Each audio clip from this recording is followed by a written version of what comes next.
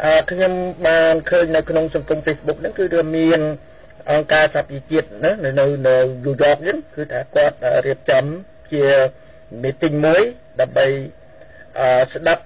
នៅវិលក្មិនយើងពីររូបគឺកញ្ញាកឹមមនុវិជាហើយនិងលោកអមមានទៀនដែលបានទៅធ្វើកំភ្លឺសកម្មកម្មនៅក្នុងអង្គការសហប្រជាជាតិដើម្បីឲ្យគាត់ ភ្លឺហើយឲ្យគាត់យល់ច្បាស់អំពីបាទនៅក្នុងប្រទេសកម្ពុជា មានការចុះថយយ៉ាងខ្លាំងលទ្ធិប្រជាធិបតេយ្យទី1គឺយើងដឹងទាំងអស់គ្នាហើយថារំលាយគណៈបកសង្គ្រោះជាតិនិងចាប់លោកកឹមសុខាដាក់ពន្ធនាគារឥឡូវជិត3ខែទៅហើយមិនទាន់ដឹងរឿងថាតើនឹងតុលាការតែលេកំងនឹងនឹងធ្វើយ៉ាងណាតទៅទៀតទេក៏ប៉ុន្តែឥឡូវយើងដឹងទាំងអស់គ្នាថា មានវាគ្មិនពីររូប ដូចជានាងកញ្ញាកឹមបនុវិជាទៅបំភ្លឺអន្តរជាតិនឹងហើយក្នុងនោះមានខាងទូតខ្មែរយើងប្រចាំនៅអង្គការសហជីវជាតិហ្នឹងគឺលោកលោកស្អីលោកទុយរីបាទលោកទុយរីជាទូតកម្ពុជាប្រចាំនៅ United Nation ហ្នឹងនៅ UN ហ្នឹងគេបានប្រឆាំងណាតាមស្ដាប់មើលទៅគឺគាត់គាត់មិនហ៊ាននិយាយជ្រៅជ្រះទេគាត់និយាយថា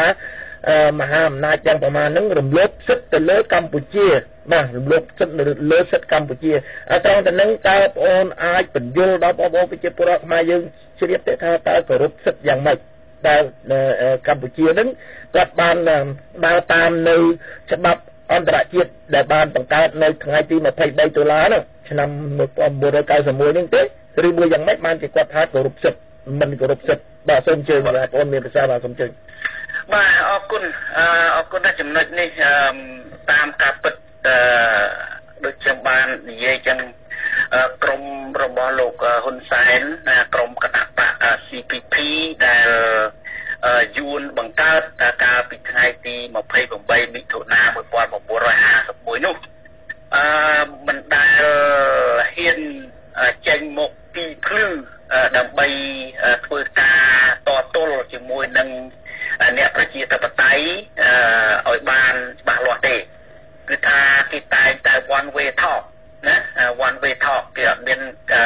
គេថា one way talk នោះបានគេនិយាយតែតែឲ្យយើងស្ដាប់ទេគេអត់មានឲ្យយើងតវ៉ាទេអានឹងមានន័យអញ្ចឹង one way talk ហ្នឹងបាទអឺ ដូច្នេះរបបផ្ដាច់ការឬមួយក៏របបកុម្មុយនីហ្នឹងអឺសារជាតិរបស់គេហ្នឹងគេតែងតែកុហកអ្វីតាមតែគេយល់ឃើញថាគេកុហកបានបាទអឺដូចយើងបានដឹងស្រាប់ហើយកម្ពុជារស់បានឡើងវិញនៅថ្ងៃ23ដុល្លារ1991ដោយអង្គការសហប្រជាជាតិណា ជួយឧបត្ថម្ភគ្រប់គ្រងសពបែបយ៉ាងទាំងអស់ហើយកម្ពុជាបានចុះហត្ថលេខាព្រមព្រៀងនឹងគ្រប់សិទ្ធិមនុស្សទៅតាមអ្វីដែលបានព្រមព្រៀងគ្នាកាលនោះបាទដើម្បីឲ្យអន្តរជាតិគេជួយស្ដារសេដ្ឋកិច្ចស្ដារសពបែបយ៉ាងឡើងវិញបាទតែក្រោយមកពួកនោះ បានត្រឹមតែបោកប្រាស់សហគមន៍អន្តរជាតិយកលុយចាយតែប៉ុណ្ណោះឯងទង្វើទាំងឡាយធ្វើដោយគេបង្ខំណាគឺថាអ្វីអ្វីនៅក្នុងប្រទេសហ្នឹងវាអភិវឌ្ឍវាជឿនលឿនអីក្តីបានខ្លះខ្លះហ្នឹងមិនមែនជាអឺសម្បត្តិរបស់ខ្មែរពិតប្រាកដទេណា គឺភាគច្រើនយើងឃើញហើយសុទ្ធតែរបស់បរទេសដូចជាចិនដូចជាយួនដូចជាកូរ៉េដូចជាប្រទេសនានាណាអានេះយើងនិយាយអ្វីដែលយើងបានយល់ឃើញរឿងពិតបាទរីឯខ្មែរពិតពិតនោះគឺថាច្រើនណាស់ដែលរស់ក្រោមបន្ទាត់តែត្រីក្រវេទនាដោយសារតែអ្នកដឹកនាំមួយក្តាប់ទូញបានអោនក្បាល អឺនៅក្រោមបញ្ជារបស់យួនហាណូយឬមួយរបស់ចិនទៅកាំងបាទអានឹងជារឿងពិតដែលយើងមើលទៅឃើញហើយពួកនេះបានអឺបោកប្រាស់អន្តរជាតិថាយកលុយយកការយកទ្រព្យសម្បត្តិទាំងឡាយហ្នឹងយកទៅជួយខ្មែរ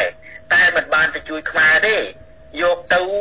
ធ្វើមានធ្វើបានតែក្រុមស្ម័គ្របពុរបស់ខ្លួនតែប៉ុណ្ណោះដូច្នេះអង្គការសហប្រជាជាតិក្តីខ្មែរអ្នកស្នេហាជាតិពិតប្រាកដក្តីគេបានមើលឃើញរឿងនោះជាប្រតិយដោយមិនអាចប្រកែកបានហើយម្ល៉េះហើយអង្គការសហប្រជាជាតិហ្នឹងក៏គេបានអឺគៀបណាគេបានអឺពិភាក្សាគ្នាជាមួយនឹងខ្មែរអ្នកស្រាជាតិ និងបរទេសទាំងឡាយដែលឈឺឆ្អាលចំពោះរឿងការធ្វើទុកបុកម្នេញណាទៅលើលទ្ធិប្រជាធិបតេយ្យដែលបានអឺគេថារស់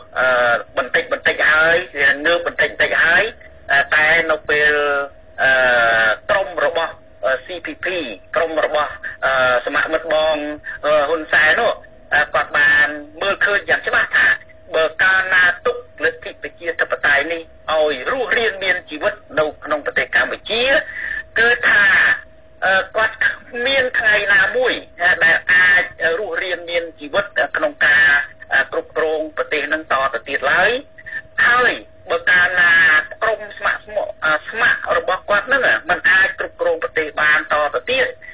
គឺថាគាត់ត្រូវខាតបង់ច្រើនណាស់បាទខាតបង់ច្រើនណាស់ចំពោះប្រយោជន៍ ណាចវាយរបស់គាត់ជាពិសេសគឺយួននឹងចិនណាហើយនឹងក្រុមគ្រួសាររបស់គាត់នឹងទៀតបើអញ្ចឹងហើយគាត់ធ្វើយ៉ាងម៉េចក៏ដោយអស់ស្អីអស់ក៏ដោយណាសម្រាប់ខ្មែរចោលប្រមាណអ្នកទៀតក៏ដោយឲ្យតែគាត់រក្សាអំណាចនោះបានបើអញ្ចឹងហើយរឿងដែលអឺនាងកញ្ញាគឹមមនោវិជ្ជាបានទៅរៀបរាប់ប្រាប់ UN នោះតាមការពិត UN គេបានដឹងទៅហើយគេមិនមែនមិនបានដឹងទេរឿងទាំងអស់នេះរឿងលោកប៉ាងលោកទៀននឹងរឿងអដេញនាងកញ្ញាគឺមនុស្សវិជាទៅរាយរាប់ប្រាប់ UN នោះគេដឹងអស់ហើយគេមិនដឹងទេគ្រាន់តែយើងក្នុងនាមជាខ្មែរណាក្នុងនាមជាខ្មែរហ្នឹងត្រូវតែមានអ្នកតំណាងណាដើម្បីទៅស្ទើរគេបន្ថែមថានេះអឺរឿងដែលដែលដែលក្រុមរបស់អនិញសមាមិត្តបងហ៊ុនសែនបានសម្លាប់ ដែលដូចខ្ញុំថាចឹងបានសម្លាប់ខ្មែរអស់ជាង3លាននាក់គឺសម្លាប់អារម្មណ៍ណាបងខ្មែរមនុស្សយើងតកាលណាអារម្មណ៍ស្លាប់ហើយគឺចប់ហើយបងពីព្រោះយើងរួមរៀនមានជីវិតសេរីភាពសប្បាយរីករាយដោយសារអារម្មណ៍តែបើកាលណាគេសម្លាប់អារម្មណ៍របស់យើងហើយគឺយើងត្រូវចប់ណាឈ្មោះធូរណាឈ្មោះធ្ងោ ជាងអានឹងយកដំបងយកមកវៃមកភូងអុយអុយស្លាប់ចូលក្នុងដៅដូចចំណន់3ឆ្នាំ8ខែទៅទៅទៀតអានឹងយើងត្រូវដឹងថាយើងរស់ទាំងវេទនាណាដោយសារអារម្មណ៍យើងនឹងបានស្លាប់ទៅហើយរស់ទាំងពិតរស់ទាំងភ័យណាអានឹងយើងត្រូវយល់អញ្ចឹងបាទយើងត្រូវយល់អញ្ចឹងអានឹងហើយបានខ្ញុំចង់និយាយហ្នឹងគឺថាអឺជុំវិញពិភពលោកមិនមែនគេមិនដឹងទេគេដឹងក៏ប៉ុន្តែ គេមិនអាចលូកលាន់ក្នុងរឿងខ្មែរលុះត្រាតែខ្មែរនឹងទៅឆ្កឹះទៅចាក់ទៅលេខគេទៅស្រែកទៅយំណាឲ្យណានៃដាក់តិចគេបានជាគេនឹងដឹងថាអូអ្នកឯងពិតជាឈឺណាអ្នកឯងពិតជាវេទនាហើយណាអញ្ចឹងហើយបានជាគេចាប់ផ្ដើមធ្វើសវនាការគេចាប់ផ្ដើមប្រជុំគេចាប់ផ្ដើមនិយាយចលាចលទូទាំងពិភពលោកលើកឡើងតែ អាចិនពេកាំងណាលើកឡើងតែចិនទេដែលវាគ្រប់គ្រងក្នុងការសម្លាប់អារម្មណ៍របស់មនុស្សជាតិនោះហ្នឹងអាហ្នឹងហើយអាហ្នឹងអានឹងជាជាចម្លើយដែលបងបានសួរខ្ញុំថារឿងដែលអ្នកនាងកញ្ញានាងកញ្ញាអាញាកមនោវិទ្យាហើយនឹងអដិញ្ញាលោកប៉ាងុនទៀនបានទៅរៀបរាប់ប្រាប់ UN ពីព្រោះ UN ជាតំណាងឲ្យពិភពលោកហើយម្លោះហើយត្រឹមត្រូវណាស់ដែលយើងមានអ្នកតំណាងខ្មែរស្នេហាជាតិណាចូលទៅ UN ដើម្បីរៀបរាប់ប្រាប់គេអំពីរឿងហ្នឹងរីឯរឿងអីលោកតំណាងឲ្យកម្ពុជាឲ្យខ្មែរឈ្មោះទុយរីស្អីណានេះហ្នឹងពួកនេះមិនមែនធ្វើការឲ្យខ្មែរទេពួកនេះធ្វើការឲ្យប៉ះណាធ្វើការឲ្យប៉ះតំណាង អឺអឺស្ថានទូតសំណាងទូតរបស់អដិញខ្មែរទាំងអស់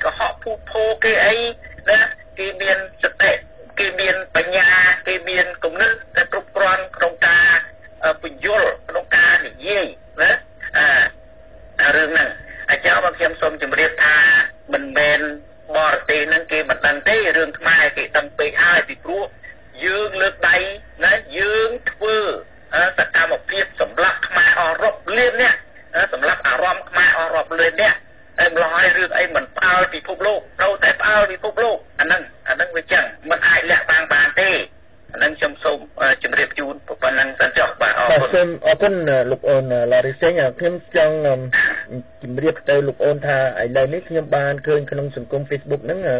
យើងមិនបាច់បញ្ចេញឈ្មោះទេប៉ុន្តែគាត់ថាគាត់អំពាវនាវឲ្យបងប្អូនប្រជាពលរដ្ឋខ្មែរយើងចុះអត្តលេខាណាទៅសេពាក្យទៅអន្តរជាតិហ្នឹងទៅអង្គការសិទ្ធិជាតិបាទសំទោសបាទទៅអង្គការសិទ្ធិជាតិសារជាថ្មីម្ដងទៀត ណាផ្ដិតមេដៃផ្ដិតមេជើងហ្នឹងគឺម្ដងទៀតគឺថាជំរុញឲ្យហ៊ុនសែននឹងគោរពលទ្ធិប្រជាធិបតេយ្យហើយនឹងជំរុញឲ្យហ៊ុនសែននឹងគោរពថ្ងៃទី23ដុល្លារឆ្នាំ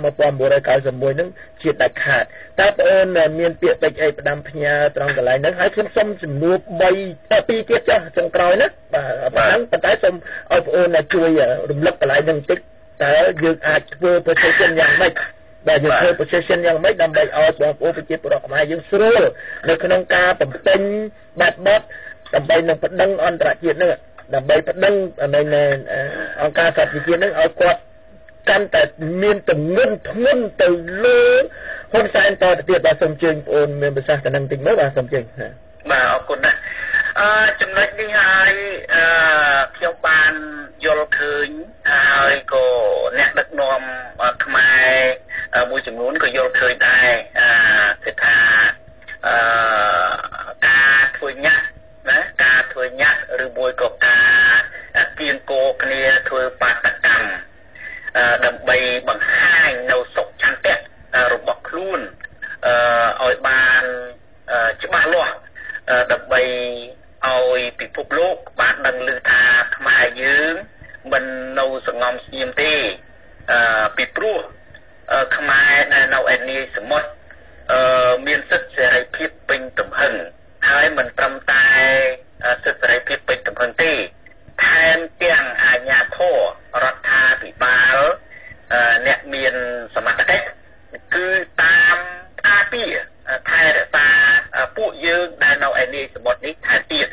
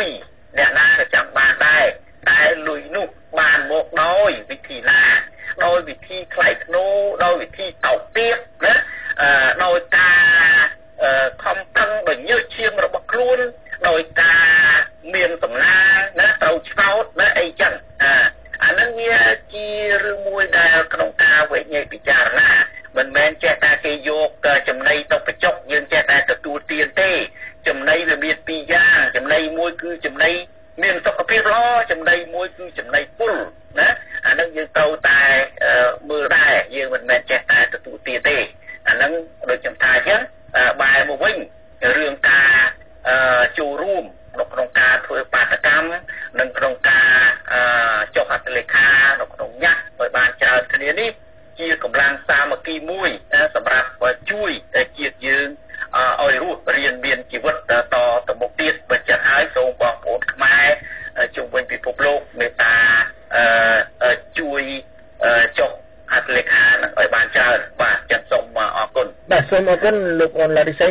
កិច្ចសម្ភារនេះនៅមានតសូមរងចាំស្ដាប់ភាពបញ្ចប់នៅក្នុងកម្មវិធីផ្សាយថ្ងៃស្អែក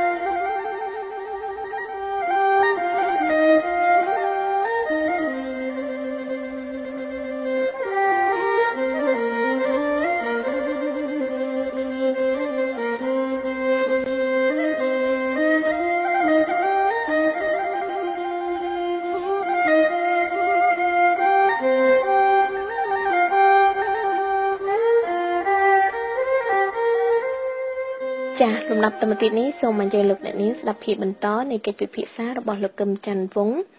អគ្គលេខាធិការនៃអង្គការសម្ព័ន្ធដើម្បីកិច្ចព្រមព្រៀងសន្តិភាពទីក្រុងប៉ារីសជាមួយលោកប៉ែនសារួមនិងលោកប៉ាសរឿនស្ដីពីទស្សនៈនៃធម៌សាមគ្គី ចាសូមអញ្ជើញស្ដាប់ដូចតទៅ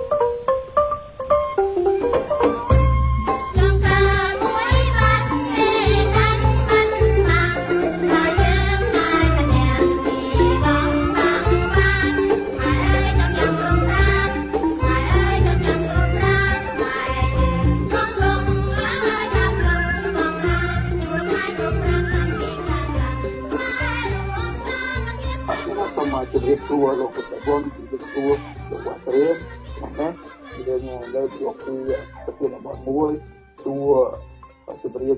ដល់លោកសុំច័ន្ទវង្សឲ្យគាត់បកស្រាយជជូនអឺបងប្អូនយើងដូចជា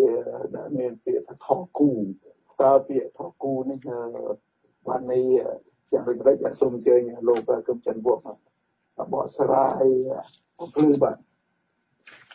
ខ្ញុំកំចាន់វងបានមកជួបគ្នាម្ដងទៀតហើយពីថ្ងៃមុនយើងបានលើកធរមុខចក្រាន3ឬក៏មាន3តែយើងមាន4អឺយើងធរគូនេះក៏ធ្លាប់បានលើកពីមុនហើយប៉ុន្តែឥឡូវនេះក៏សូមលំអិតបន្តិចធរគូគឺមនុស្សយើងទាំងអស់ក្នុងโลกនេះកើតមកតែងតែមានគូនឹងគ្នាដូចជាស្រីនិងប្រុសអាក្រក់ល្អសខ្មៅ អានឹងគេហៅធរគួរអឺប៉ុន្តែនៅក្នុងគ្រប់សមាគមអង្គការឬក៏ជុកឬក៏ស្អីផ្សេងផ្សេងហ្នឹងអឺដែលកើតជាសមាគមបានគឺត្រូវមានធនធានមនុស្សនិងធនធានថនការអឺធនធានមនុស្សហ្នឹងហើយគឺសមាគមទាំងអស់ត្រូវរក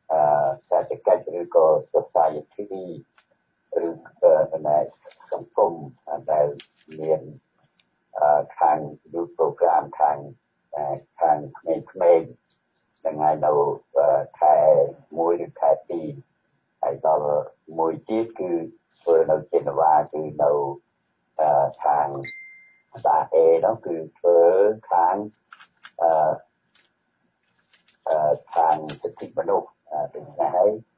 អឺសព្ទហ្នឹងក៏ត្រូវការចែកចម្លែកដើម្បីទៅខាង UN ផងហើយទៅខាងចេតវ៉ាទៅខាងអឺហូឡង់ហ្នឹងដើម្បីទៅរួមប្រជុំខាងសិទ្ធិមនុស្សគឺយើងមានគម្រោងការចង់យកការរំលោភសិទ្ធិមនុស្សរបស់ ប្រទេសខ្មែរយើងដែលដឹកនាំដោយក្រមអ្នកពុករលួយអវាចានឹងធ្វើឲ្យជាបរដ្ឋមានការរអាក់រអួលភាពចុះខ្សោយឬក៏ពីយកខាងសេដ្ឋកិច្ចនឹងយកមកគ្រប់សង្កត់ដេញពលរដ្ឋខ្មែរឲ្យចេញពីទីលំនៅឋានហ្នឹង យើងក៏ត្រូវទៅប្រាប់គេដើម្បីឲ្យដឹងហើយឥឡូវនេះខាងអង្គការសហជីវជាតិឬក៏អីហ្នឹងក៏បានហៅហើយព្រមមានការជាសង្កត់ដល់អឺខាងគណៈបកនឹងទៀតមានរំលែកគណៈបកហ្នឹងហើយយកអាសនៈទៅចែកគណៈបកដែលអត់មានអាសនៈចោះហ្នឹងហើយអត់មានបានមួយកៅអីសោះហ្នឹងហើយគេឲ្យអង្គការសហជីវជាតិ ហើយនឹងប្រទេសនានានឹងគេបានដាក់ទណ្ឌកម្មជាពិសេសខាងសហរដ្ឋអាមេរិកហើយនឹងខាង EU ខាងអឺរ៉ុបហ្នឹងហើយអានឹងគេហៅថាធោគូដែរធោគូមួយទៀតគឺខ្មែរក្រៅស្រុកនិងខ្មែរក្នុងស្រុកហ្នឹងហើយខ្មែរក្រៅស្រុកមកនៅប្រទេសគេ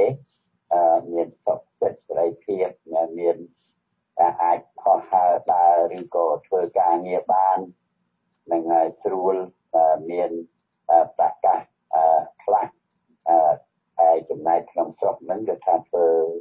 ការដែរក៏ប៉ុន្តែបានតិចឥឡូវនេះដោយសារសង្កត់សេដ្ឋកិច្ចរបស់ប្រទេសមហាអំណាចហើយនឹងបន្តទៅទៀតពីខាង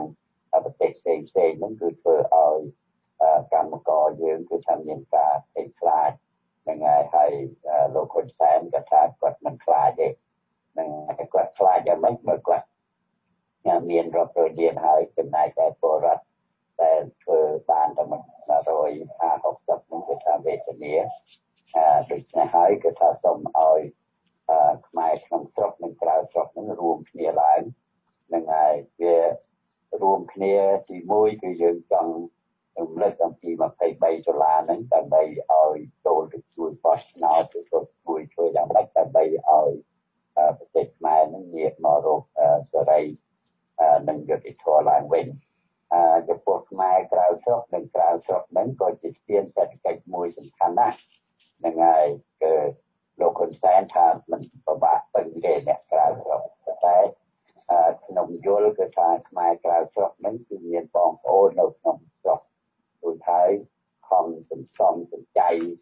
និងប្រាក់បន្តិចបន្តួចអត់ពីមាត់ពីកផ្ញើទៅបងប្អូនក្នុងស្រុកហ្នឹងគឺថា ក្នុងមួយឆ្នាំមួយឆ្នាំរាប់រយលានដូច្នេះហើយអានឹងបានគេហៅថាណែក្នុងអឺផ្សេងនេះគឺសេដ្ឋកិច្ចក្នុងស្រុកនិងក្រៅស្រុកដែលជាស្ពានមួយសំខាន់ដោយតែខ្ញុំបានលើកហើយនឹងហើយខាងអឺវិទ្យុជនខ្មែរពិភពលោកនឹងបានកើតហើយមានគ្នា4 15នាក់ដែល បានធ្វើជាច្បាប់ត្រឡប់ត្រឹមត្រូវហើយហើយយើងមានមានបំណងនឹងធ្វើជានិច្ចកម្មក្រៅស្រុកនឹងដើម្បីឲ្យអ្នកក្នុងស្រុកនឹងជូនរបស់របរកសិកម្មឬខាងកសិករបញ្ជូនវត្ថុផ្សេងផ្សេងមកក៏ប៉ុន្តែអ្នកក្នុងស្រុកហ្នឹងក៏មានការពិបាកដែរដូចជាទឹកមុនហ្នឹងគឺថា បានផ្សព្វផ្សាយថាផ្សារសេរីហើយផ្សារសេរីហ្នឹងឲ្យខាងយួនហ្នឹងចូលមកឡើងមិនចេះតិចហ្នឹងហើយមានអឺចម្លងដងត្រាវឬក៏បន្លែបកាយជាដើមហើយក្នុងស្រុកហ្នឹងគឺថាមានតិចប៉ុន្តែតាមពិតយើងមានច្រើនបង្គួរដែរតាមការស្ដាប់ទៅវាមានទីចិនរូបចិនមិនចិនជាបន្លែបកា ក៏ប៉ុន្តែយើងទីចិនតាមធ្វើតាមធម្មជាតិហើយដល់គេយកមកច្រើនមកវាចុះតម្លៃពលរដ្ឋខ្មែរយើងដែលខំធ្វើខំពុះទារហូតដល់ជំពាក់ប្រាក់ធនាគារនឹងហើយសងមិនរួចដូច្នេះហើយគួរណាស់តែរដ្ឋាភិបាលនឹងកម្រិតយើងមិនមែនតែឲ្យយកមកទេនឹងហើយហើយអឺបើសិនជាឲ្យយកមកក៏យើងត្រូវពិនិត្យតាំងពីអឺ សុខុមាលភាពនឹងអំពីដែលបន្លែបកានឹងតើវាមានជាតិគីមីឬក៏ស្អីទេយើងមិនត្រូវយកមកគឺយើងមិនអាចយកមកទេក៏ប៉ុន្តែពួកនឹងគេមិនគិតទេហ្នឹងហើយជាពិសេសគឺលោកហ៊ុនសែននឹងឯងគាត់ថាតើពីប្រហែលខែមុនហ្នឹងគាត់ថាដែរទៅទិញយកមកដាំខ្លួនឯងមកបន្ទប់គ្នា ហ្នឹងហើយប៉ុន្តែតាមពិតនៅក្រសួងសុខាភិបាលក្រសួងកសិកម្មហ្នឹងតើធ្វើអីហ្នឹងហើយមិនក៏មិនខំពិនិត្យមើលវិច័យមើលអឺការដែលនាំចូលមកហ្នឹងវាមានអឺផលមោះឬក៏យ៉ាងម៉េចតែនឹងយើងត្រូវពិនិត្យមើលតែក្រសួងសុខាភិបាលហ្នឹងក៏ត្រូវពិនិត្យមើលដូចនៅចុះគេនេះគេមានក្រសួងរបស់គេពិនិត្យមើលហើយគេមិនចេះតែឲ្យយកមកទេគឺគេ ឲ្យពលរដ្ឋគេហ្នឹងគឺថាដាំដុះហើយយកផលិតផលហ្នឹងចែកនៅក្នុងស្រុកហ្នឹងឲ្យបានគ្រប់គ្រាន់ហើយបានជាឲ្យអ្នកណាក្រៅស្រុកហ្នឹងយកមកខ្លះដូច្នេះហើយអឺដូច្នេះវាត្រូវតែពឹងពាក់គ្នាទៅវិញទៅមកអញ្ចឹងហើយបានជាហើយចូលពូនឹងនៅក្នុងហ្នឹងអឺខាងខ្ញុំហ្នឹងក៏បានធ្វើជា ធ្វើក្រុមហ៊ុនមួយដោយតែបានជម្រាបមកហើយនឹងហើយដែលមានអក្សរកាត់ថា World Kin ពិភពលោកដើម្បីកូនចៅយើងគឺយើងធ្វើព្រោះពាណិជ្ជកម្មនេះជាអាយុជីវិតជាបាយជាចិត្តរបស់យើងដែលធ្វើជាស្ពានសេដ្ឋកិច្ចសម្រាប់នាំកសិករផលិតផលកសិករកសិករដែលធ្វើនៅក្នុងស្រុកនេះឲ្យ មកក្រៅស្រុកនឹងដែលយើងដូចជាខ្ញុំលើកដែលជាដែលនឹងគឺធ្វើជារោងចក្រកែច្នៃដើម្បីយកមកក្រៅស្រុកក៏ប៉ុន្តែឥឡូវនេះដោយសារមានអឺការពិបាកផលបាក់នៅថ្ងៃខាងអឺយើងអឺ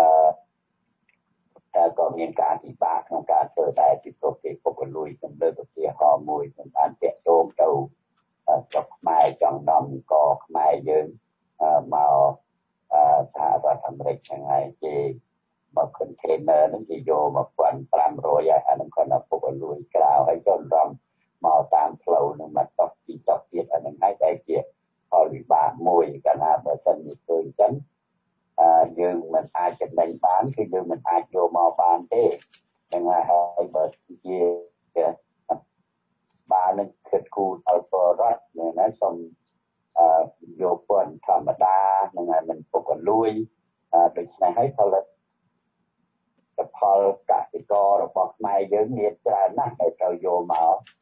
សពបែបសពយ៉ាងទំនងដូងត្រាវសូម្បីតែ គេហ្នឹងក៏គេយកមកដែរដើម្បីយកមកលក់នៅខាងក្រៅស្រុកហ្នឹងហើយ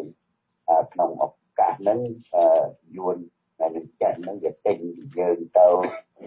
យកទៅវិច្ឆ័យទៅហើយយកមកអឺស្រុកក្រៅដើម្បីលក់បានជាចំណេញអឺដែលខ្ញុំបង្កើតក្រុមហ៊ុននេះគឺមានកំណងម្យ៉ាងធ្វើដើម្បីអឺ ឲ្យមុនមកហើយគឺថាយើងត្រូវកាត់គ្រាគេមានធ្វើខ្លះហើយប៉ុន្តែយើងក៏ត្រូវតែធ្វើអានេះក៏ធ្វើជា corporate ជាពាណិជ្ជកម្មទូទៅដែលខ្មែរយើងអាចចូលបានគឺក្នុងភាគហ៊ុន1ដុល្លារហ្នឹងហើយបើសិនជាអស់លោកលោកស្រីដែលមានបំណងចង់ចូលរួមដើម្បីយើងនឹងធ្វើអឺ រកប្រាក់ភាគហ៊ុននឹងឲ្យបានច្រើនឧទាហរណ៍ខ្ញុំថាបើសិនជាបានច្រើនទៅយើងបើកខាងនៅសហរដ្ឋអាមេរិកមួយដូចជាចាប់ពួយលក់ដូរអីវ៉ាន់ហ្នឹងទៅជួយឲ្យយើងក៏បានកម្រៃដល់ខ្លួនយើងផងហ្នឹងហើយក៏អាចថ្ងៃក្រោយទៅអាចនាំចេញផលិតផលពីកសិករនឹងយកមកលក់នៅនេះដែរអឺដែលធ្វើចំនួននេះអឺ តាមអឺក្នុងក្បួនសាមគ្គីគឺវាគេហៅថាដែរវាវាសាមគ្គីពីរត្រួតហ្នឹងហើយត្រួតទី1គឺយើងអ្នកដែលធ្វើហ្នឹងចូលជាជាហ៊ុនហ្នឹងអឺបានមកសាហើយជាអ្នករួមរួមគ្នាហើយដល់ពេលអស់ពីយើងទៅតែយើងចាស់ចាស់ហើយនឹងហើយមានការបាត់បង់ជីវិតទៅអឺបើសិនជាក្រុមហ៊ុននឹងវាដើរទៅ នឹងហើយយើងគេអាចមានច្បាប់មួយគឺគេអាចហៅដល់កូនចៅយើងទេមរតកនឹងដល់កូនចៅយើងហើយកូនចៅយើងនឹងក៏ធ្វើបន្តទៅទៀតនឹងហើយដូចជាជនជាតិអ៊ីស្រាអែលជនជាតិធ្វើបានជោគជ័យណាស់នឹងហើយដឹងថាវាអាចមានធនផ្សៃខ្លះទុកអាយ៉ាប់អាយ៉ែងដូចជាពីខែមុននេះលោកត្រាំនឹងបានប្រកាសយក អឺខាងទីក្រុងនេះនឹងយកមកធ្វើជាជនជាតិអ៊ីស្រាអែលនឹងក៏មានការលំបាកខ្លះដែរដូច្នេះខ្ញុំគ្រាន់តែលើកចូលពីនឹងចូលពីយើងអាចអធិប្បាយបានច្រើនមានអាក្រក់ល្អជាដើមក៏តែនៅក្នុងឱកាសនេះសូមបុគ្គលភារកិច្ចនេះជូនដល់លោកអឺទៅរួម ដែលជាវាគ្មិនហើយនឹងជាអ្នក monitor សូមមេត្តាអញ្ជើញបាទបើមានចំណុចអីសូមមេត្តាសួរបាទសូមអរគុណបាទសូមអរគុណលោកទុនច័ន្ទវងដែលបានពិពណ៌នាបស្រាយនៅធរគូហើយវាពាក់ព័ន្ធទៅនឹងសេដ្ឋកិច្ចក្នុងប្រទេសកម្ពុជាយើង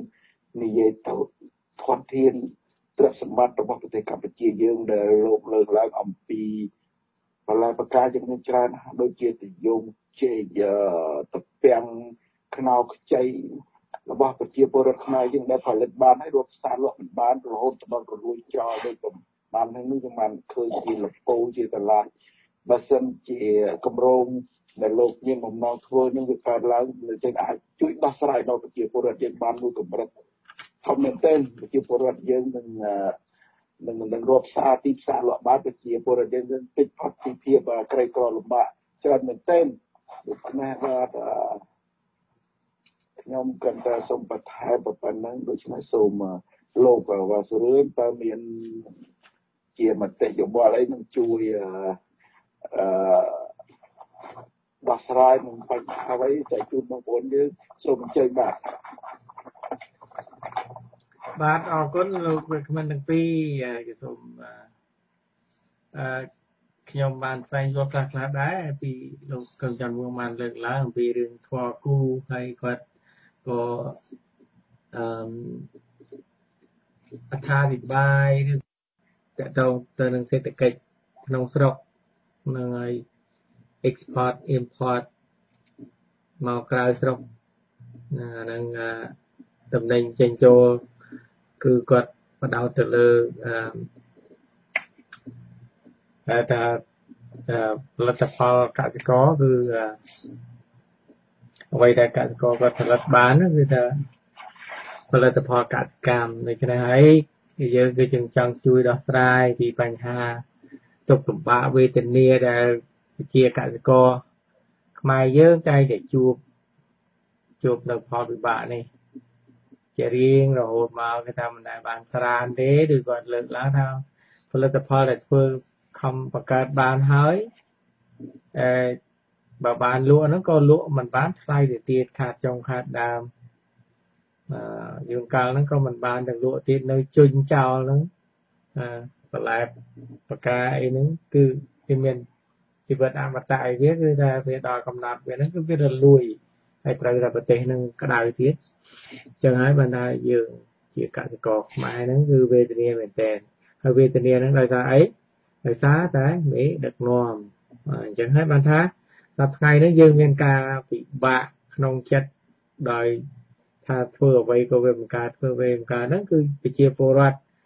ខ្មែរទាំងក្នុងទាំងក្រៅប្រទេសហ្នឹងគឺខំណាទៅស្រាក់ស្រាវណៃខ្ញុំក៏សូមកោតសរសើរដែរជាពិសេសបងប្អូននៅក្រៅប្រទេសហ្នឹងគាត់ធ្វើបាតកម្មទៀមទាឲ្យមានសុខដុមរមនាជាបតៃត្រឹមត្រូវនៅ ប្រទេសកម្ពុជាហ្នឹងដោយសារអីដោយសារតែមកពីឃើញអ្នកដឹកនាំយើងហ្នឹងគឺมันបានផ្ដល់ឱកាសឬក៏มันបានអឺអនុវត្តទៅតាមកិច្ចប្រព្រឹត្តដែលជាអាវក្រោះដែលជាអាវយ័ន្តដែលដែលអង្គការសហជីវជាតិនៅប្រទេសទាំង18ហ្នឹងគេខំជ្រួយជ្រោមជ្រែងយើងឲ្យវាមានអធិជាតិបត័យព្រោះអីប្រជាធិបតេយ្យប្រមាណចំនួនមកហ្នឹងគឺសត្វតែជាប្រជាធិបតេយ្យ คล้ายคล้ายជាធិបតេយ្យបែបបីសាច់ហ្នឹងតែអញ្ចឹងទៅប្រជាពលរដ្ឋហ្នឹងគឺគាត់គាត់វេទនាណាតកូនតចៅរហូតមកដល់ឥឡូវហ្នឹងគឺកាន់តែពិបាកមែនតើហើយថ្មីថ្មីនេះទៀតដែលយើងឃើញដូចជាលោកសុវិសានេះគាត់ឃើញប្រជាពលរដ្ឋនៅក្រៅប្រទេសដែលធ្វើបាតកម្មទៀមទាអីហ្នឹងទៅគាត់បែរទៅជាថា អ្នកក្រៅប្រទេសហ្នឹងធ្វើហ្នឹងរំលោភកិច្ចព្រមព្រៀង23ដុល្លារប៉ុន្តែខ្ញុំដូចឆ្ងល់ដែរឆ្ងល់ថាពួកគាត់ហ្នឹងហេតុអីគូបកែរឿងកលាស់ដាតម៉េចមិនចាំសាច់ភ្លេងសោះអញ្ចឹងកែពួកគាត់ទាំងអស់គ្នាហ្នឹងនិយាយណែអះអាងថាកិច្ចព្រមព្រៀង23ដុល្លារហ្នឹងផុតរលត់ស្លាប់ទៅហើយតើហេតុអីបើ បើថាអ្នកក្រៅប្រទេសនោះរំលោភរំលោភអីបើស្លាប់ហើយខ្លួនឯងនិយាយថាស្លាប់ហើយនោះរំលោភស្អីមិនរំលោភខ្ចោលហ្នឹងហើយអញ្ចឹងបានថាអារឿងការនិយាយក្តីហ្នឹងគឺវាมันប្រកាសពជាអញ្ចឹងហើយអញ្ចឹងហើយបានថាមនុស្សតកណាចេញទ្រង់ទ្រាយចេញអាចរិតនយោបាយមករបៀបដូចថា វាវាពេលកាលអញ្ចឹងយើងឃើញថាលទ្ធផលដែលវាហុចឲ្យសប្ថ្ងៃនេះវាឃើញថាវាដល់កម្រិតណាយើងយើងដឹងគ្រប់គ្នាយើងឃើញគ្រប់គ្នាហើយដូចជារឿងថាណែសពថ្ងៃជាធិបតេយ្យមាននៅកម្ពុជានឹងល្អជាងគេណារហូតដល់បើកសិទ្ធិទលំទលាយមិនវាយខ្នោះមិនវាយអីទេបើសិនជាអ្នកបើកឡានផឹកស្រាអីហ្នឹងផឹកស្រាបើកឡានអីហ្នឹងគឺ គឺគឺគាត់និយាយភាសាហ្នឹងទៅកើតដូច្នេះបានន័យថានីតិរដ្ឋភាពហ្នឹងគឺរដ្ឋាភិបាលហ្នឹងគឺគាត់យកការដែលអាការមិនមិនមិនយកទុកវ័យបដោយឲ្យពួកខលខូចដែលជាអក្រិតជនហ្នឹងរួចខ្លួនគេថានីតិរដ្ឋភាពហ្នឹងភាពដែលទុករួចខ្លួនហ្នឹងគឺមកបញ្ជាក់ប្រាប់ប្រជាពលរដ្ឋប្រាប់សាធារណជនថាទៅជារដ្ឋាភិបាលហ្នឹងគឺបើកទលំទលាយ បើកសិទ្ធទៅវិញដូច្នេះហើយអាហ្នឹងគឺវាច្រឡំបន្ទាត់ខុសធ្ងន់មែនតើណានឹងលោកវិសានប៉ុន្តែហ្នឹងយើងមិនភ្ញាក់ផ្អើលទេសូម្បីតែលោកហ៊ុនសែនហ្នឹងគាត់ធ្វើអ្វីកាន់តាខុសទៅខុសទៅខុសទៅហ្នឹងប៉ុន្តែខ្ញុំខ្ញុំត្រេកអរបាទត្រេកអរថាបើសិនជាលោកហ៊ុនសែនកាន់តែធ្វើខ្លាំងទៅខ្លាំងទៅអាហ្នឹងកាន់តែល្អវិញហ្នឹងការយកចិត្តទុកដាក់របស់អង្គការសហជីវជាតិនិងប្រទេស មហាអំណាចហ្នឹងគឺគេមិនបណ្ដោយទេហើយអាមេរិកគេបាននិយាយឲ្យបងប្អូនចាំចាំឲ្យច្បាស់ថាអាមេរិកគេនៅតែឈរខាងប្រជាពលរដ្ឋខ្មែរជារៀងរហូតគេនឹងជួយ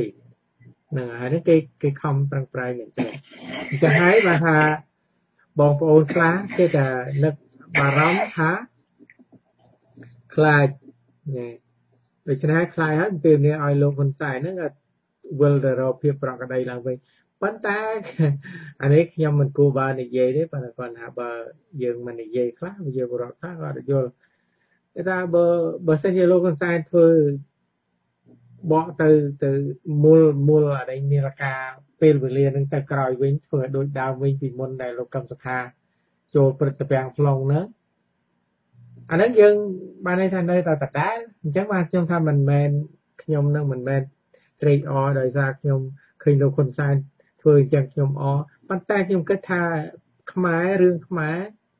វាល្មមដល់ពេលដែលត្រូវប្រក់ដបូលហើយដបូលវាពុកហើយមិនមែនយកស្អីមកជួសកើតទៀតទេដូច្នេះត្រូវប្រក់ដបូលថ្មី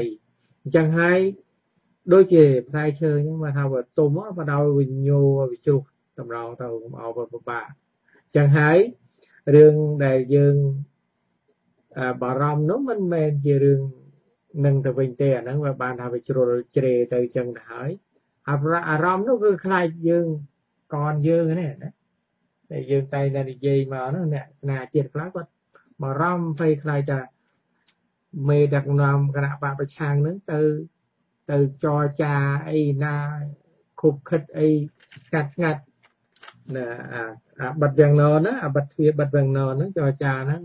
ដោយការបោះឆ្នោត2013ទៀតហ្នឹង អានេះហើយធ្វើឲ្យវាវិលទៅរកភាពដើមកាន់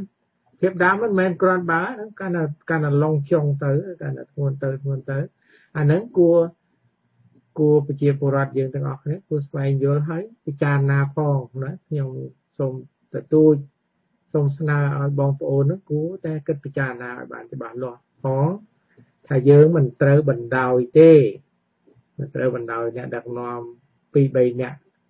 ពីរបីក្រុមហ្នឹងឃើញឃើញថាធေါ်គូហ្នឹងជួនកាលគូគេហ្នឹងគូក៏ដើរទៅលើផ្លូវខុសហ្នឹងគូរបស់គេហ្នឹងហ្នឹងហើយយើងឃើញយើងឃើញដែរដូចជារឿងកិច្ចព្រមព្រៀង23ដុល្លារហ្នឹងភាគីអ្នកនយោបាយឬក៏ហៅថាទេសកលនយោបាយទាំងអស់ហ្នឹងគឺមិនដែលឃើញអនុវត្តទេណាបានន័យថាមនាលអ្នកនយោបាយហ្នឹងគឺគាត់យករួចខ្លួនគឺគាត់ទៅធ្វើកិច្ចការឯណាផ្សេងណា អាកិច្ចព្រមព្រៀង23ដុល្លារនោះភាគីម្ខាងថាលលត់លលាយទៅហើយភាគីម្ខាងទៀតគាត់រំលឹកឡើងដែរនៅពេលដែលគាត់ទឹកដល់ចំបងមែនតែនប៉ុន្តែដល់មែនតែនដល់ដំណាក់កាលនឹងហើយមិនទាន់ឃើញមានផលផុសអីប្រមាណទេរឿងតែប្រជាពលរដ្ឋឬក៏សហគមន៍ផ្សេងផ្សេងទៀតទេដូចជាកបៈអីហ្នឹងយើងខំប្រឹងប្រែងជាទាហ្នឹងតែមកដល់ពេលហ្នឹងហើយហ្នឹងគឺមិនទាន់បាន មិនទាន់បានរួមរងគ្នាទៀតហើយមានអ្នកសារជាតិខ្លះណាដែលតែងតែមានការវិភាគអីទៅតាម Facebook ពេលអីហ្នឹងចេះតែថាខ្មែររួមរងគ្នាទៅកំបែងជើងគ្នាខ្ញុំសូមជម្រាបដែរថារឿងការដែលគេរិះគន់អ្នកដឹកនាំហ្នឹងមិនថាគណៈបកណាអ្នកនយោបាយខាងណាខាងណាទេគឺយើងត្រូវតែធ្វើអញ្ចឹងមិនមែនបណ្ដោយឲ្យគាត់ស្រឡាញ់កាប់មុខ កន្លងមកហ្នឹងអ្នកដែលយើងស្រឡាញ់កាប់មុខនឹងហើយដែលជាអ្នកបំផ្លាញជាតិរបស់យើងទល់ឥឡូវហ្នឹងបងប្អូនពិចារណាមើលទៅវា3ចំនួនទៅហើយណាវា3ចំនួនទាំងសប្តាហ៍ហ្នឹងចឹងហើយបងប្អូនពិចារណាមែនទេហើយបងប្អូនអ្នកពិភាក្សាហ្នឹងអ្នកខ្លះហ្នឹងនៅខ្ចីញញទេនេះស្ដាប់មើលទៅស្ដាប់មើលទៅហ្នឹងគឺអត់ទៅច្បាស់លាស់ទេនិយាយថាបែងជើងគ្នាមិនសាមគ្គីគ្នាយើងលើកឡើងឲ្យច្បាស់ច្បាស់ណា បើថាបានពិភាក្សាបែកប្រពុះមាត់ហើយហ្នឹងនិយាយប្រាប់សាធារណជនឲ្យច្បាស់ថាការបែកជើងគ្នាហ្នឹងវាមកពីអីណាយើងយើងស្វែងយល់ផងដូចជារឿងអាបងប្អូនខ្លះគាត់រិះគន់វិទ្យុខ្មែរប្រពលោកថាវិទ្យុនឹងធ្វើឲ្យមានការបែកបាក់ហើយចុះបើយើងអ្នកដឹកនាំណាយើងអ្នកដឹកនាំយើងជាជនសាធារណៈដែលជាពិសេសជាបុគ្គលដែលដែលរះ គ្រប់គ្នាបាទបាទលោកច័ន្ទវងមានហើយសូមអញ្ជើញបាទហ្នឹងហើយបាទហ្នឹងហើយដែលគេហៅឈរគូគឺអាក្រក់នឹងល្អឃើញទេអាក្រក់នឹងល្អហ្នឹងខាងភ្នំពេញហ្នឹងគេលើកអត់លោកសុខវិសាចឹងឯងអាខ្លួនឯងហ្នឹងអាក្រក់សោះថាខ្លួនឯងល្អហើយដល់អាគេនេះគេខំធ្វើទៅដើម្បីឲ្យពលរដ្ឋនឹងបានសុខ សានត្រានវាទៅជាគេអាក្រក់ហើយវាខុសនឹងអាដីណែអឺ23ដុល្លារអញ្ចឹងដូចលោកមានប្រសាសន៍អញ្ចឹងហ្នឹងហើយឥឡូវហ្នឹងគេប្រហែលជាអឺយល់ហ្នឹងក៏សូមមេត្តាលោកជាអនុសាសន៍តែទៀតហើយបញ្ចប់ទៅដោយទៅបាទសូមអញ្ជើញបាទបាទហ្នឹងហើយដល់ពេលវេលាខ្លីទេខ្ញុំសូមអរគុណលោកច័ន្ទវងដែលបានជួយបន្ថែមហើយក៏ខ្ញុំចង់និយាយពីបច្ចៈ តែពីរឿងការបែងជើងគ្នាមិនមិនរួមសាមគ្គីគ្នាហ្នឹងគឺគុំឲ្យយល់ច្រឡំយើងត្រូវញែកឲ្យច្បាស់ការតិចទៀនកសាងការជួយកែតម្រង់ហើយនឹងការបែងជើងគ្នាការនិន្ទាចំណែនគ្នាដោយអកតេណាមួយនោះអាហ្នឹងគឺជារឿងផ្សេងសូមអ្នកដែលពិភាក្សាដែលបកកែនិយាយបែកពពុះមាត់អ្នកខ្លះនោះព្រោះដាក់អានេះ screen ដែល Facebook ហ្នឹងយើងត្រូវបញ្យល់ឲ្យឲ្យបានច្បាស់កុំឲ្យប្រជាពលរដ្ឋគាត់វែងដោយសារយើងណាជាតែប្រែប្រែប្រែប្រែប្រែទៅហើយវាអត់បានប្រយោជន៍ស្អីបានចឹងហើយសូមអរគុណសូមជម្រាបលា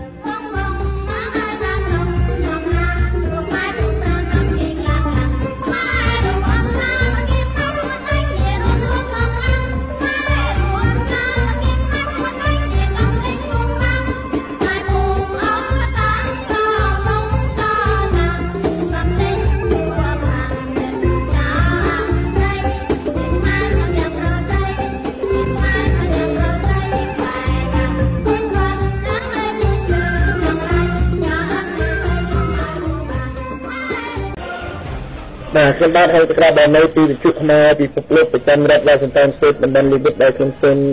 ជម្រាបដល់លោកលោកស្រីដែលមិត្តអ្នកដាប់ជុកនៅពុកលោកថ្ងៃនេះខ្ញុំបាទបានជួបលោកគុណច័ន្ទវងសាសិក្មេហើយឥឡូវគាត់នៅលើខ្សែទូរស័ព្ទហើយណាខ្ញុំសូមជម្រាបសួរលោកគុណច័ន្ទវងបាទបាទជម្រាបសួរលោកអង្គចក្របាលមីក្នុងនេះខ្ញុំមានឱកាសបានជួបលោកម្ដងទៀតដើម្បីជម្រាបអំពីកិច្ចការខ្លះៗ ទៅខាង UN បាទបាទសូមអរគុណលោកគុណច័ន្ទយើងដែលខ្ញុំបាទបានឮដំណឹងថាលោកឥឡូវនេះមានសុខភាពបរិបូរណ៍ស្រួលបួលហើយហើយនឹងបានកំពុងតែនឹងរៀបចំធ្វើដំណើរទៅអង្គការសហជីវជាតិនៅក្នុងខែ3ជាពិសេសគឺចាប់ពីថ្ងៃទី1ដល់ថ្ងៃទី19ដែលលោកនឹងជើញទៅតើលោកជើញទៅអង្គការសហជីវជាតិឬជួប អ្នកដែលមុខអ្នកមាត់អ្នកការផ្នែកខាងសេដ្ឋកិច្ចនយោបាយឬយ៉ាងណាឬមួយខាងផ្នែកងារថ្ងៃទី23ដុល្លារឆ្នាំ1991សូមលោក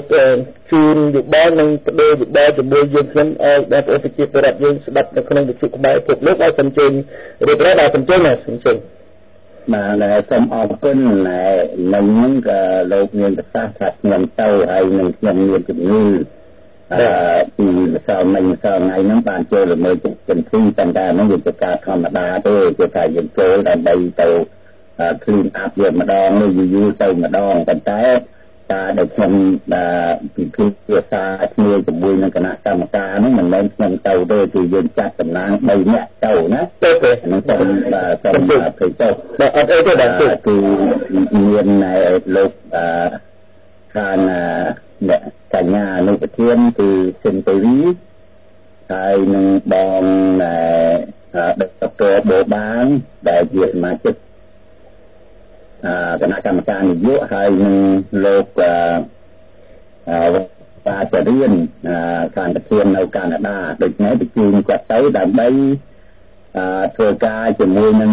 UN អំពីខាង Human Rights នឹងហើយប្រាប់ human rights ឲ្យដឹងអំពីកិច្ចការ human rights នៅស្រុកខ្មែររួចហើយយើងក៏ភ្ជាប់ជាមួយនឹងសេរីភាព agreement ដើម្បីឲ្យជួយទៅជួយកិច្ចការខ្លះៗនៅស្រុកខ្មែរនឹងឲ្យបោះឆ្នោតនៅស្រុកខ្មែរដូច្នេះហើយបើសិនជា លោកមានប្រសាសន៍ចង់សួរអ្វីខ្លះទៀតក៏សូមមេត្តាអញ្ជើញបាទខ្ញុំនឹងបាទអឺខ្ញុំបាទខ្ញុំចង់សួរលោកថាលោកនៅចាប់ដល់នឹង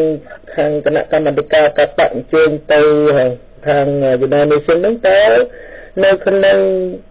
កន្លែង United Nations នេះពីពួកខ្ញុំបាទបានដឹងថាដូចជាលោកប្រវត្តិបរននឹងក្តីគាត់បានអញ្ជើញទៅជាញឹកញាប់ដើម្បីនឹងអឺគេហៅថា ជូនជាបណ្ដឹងណាជម្រាបដល់នឹង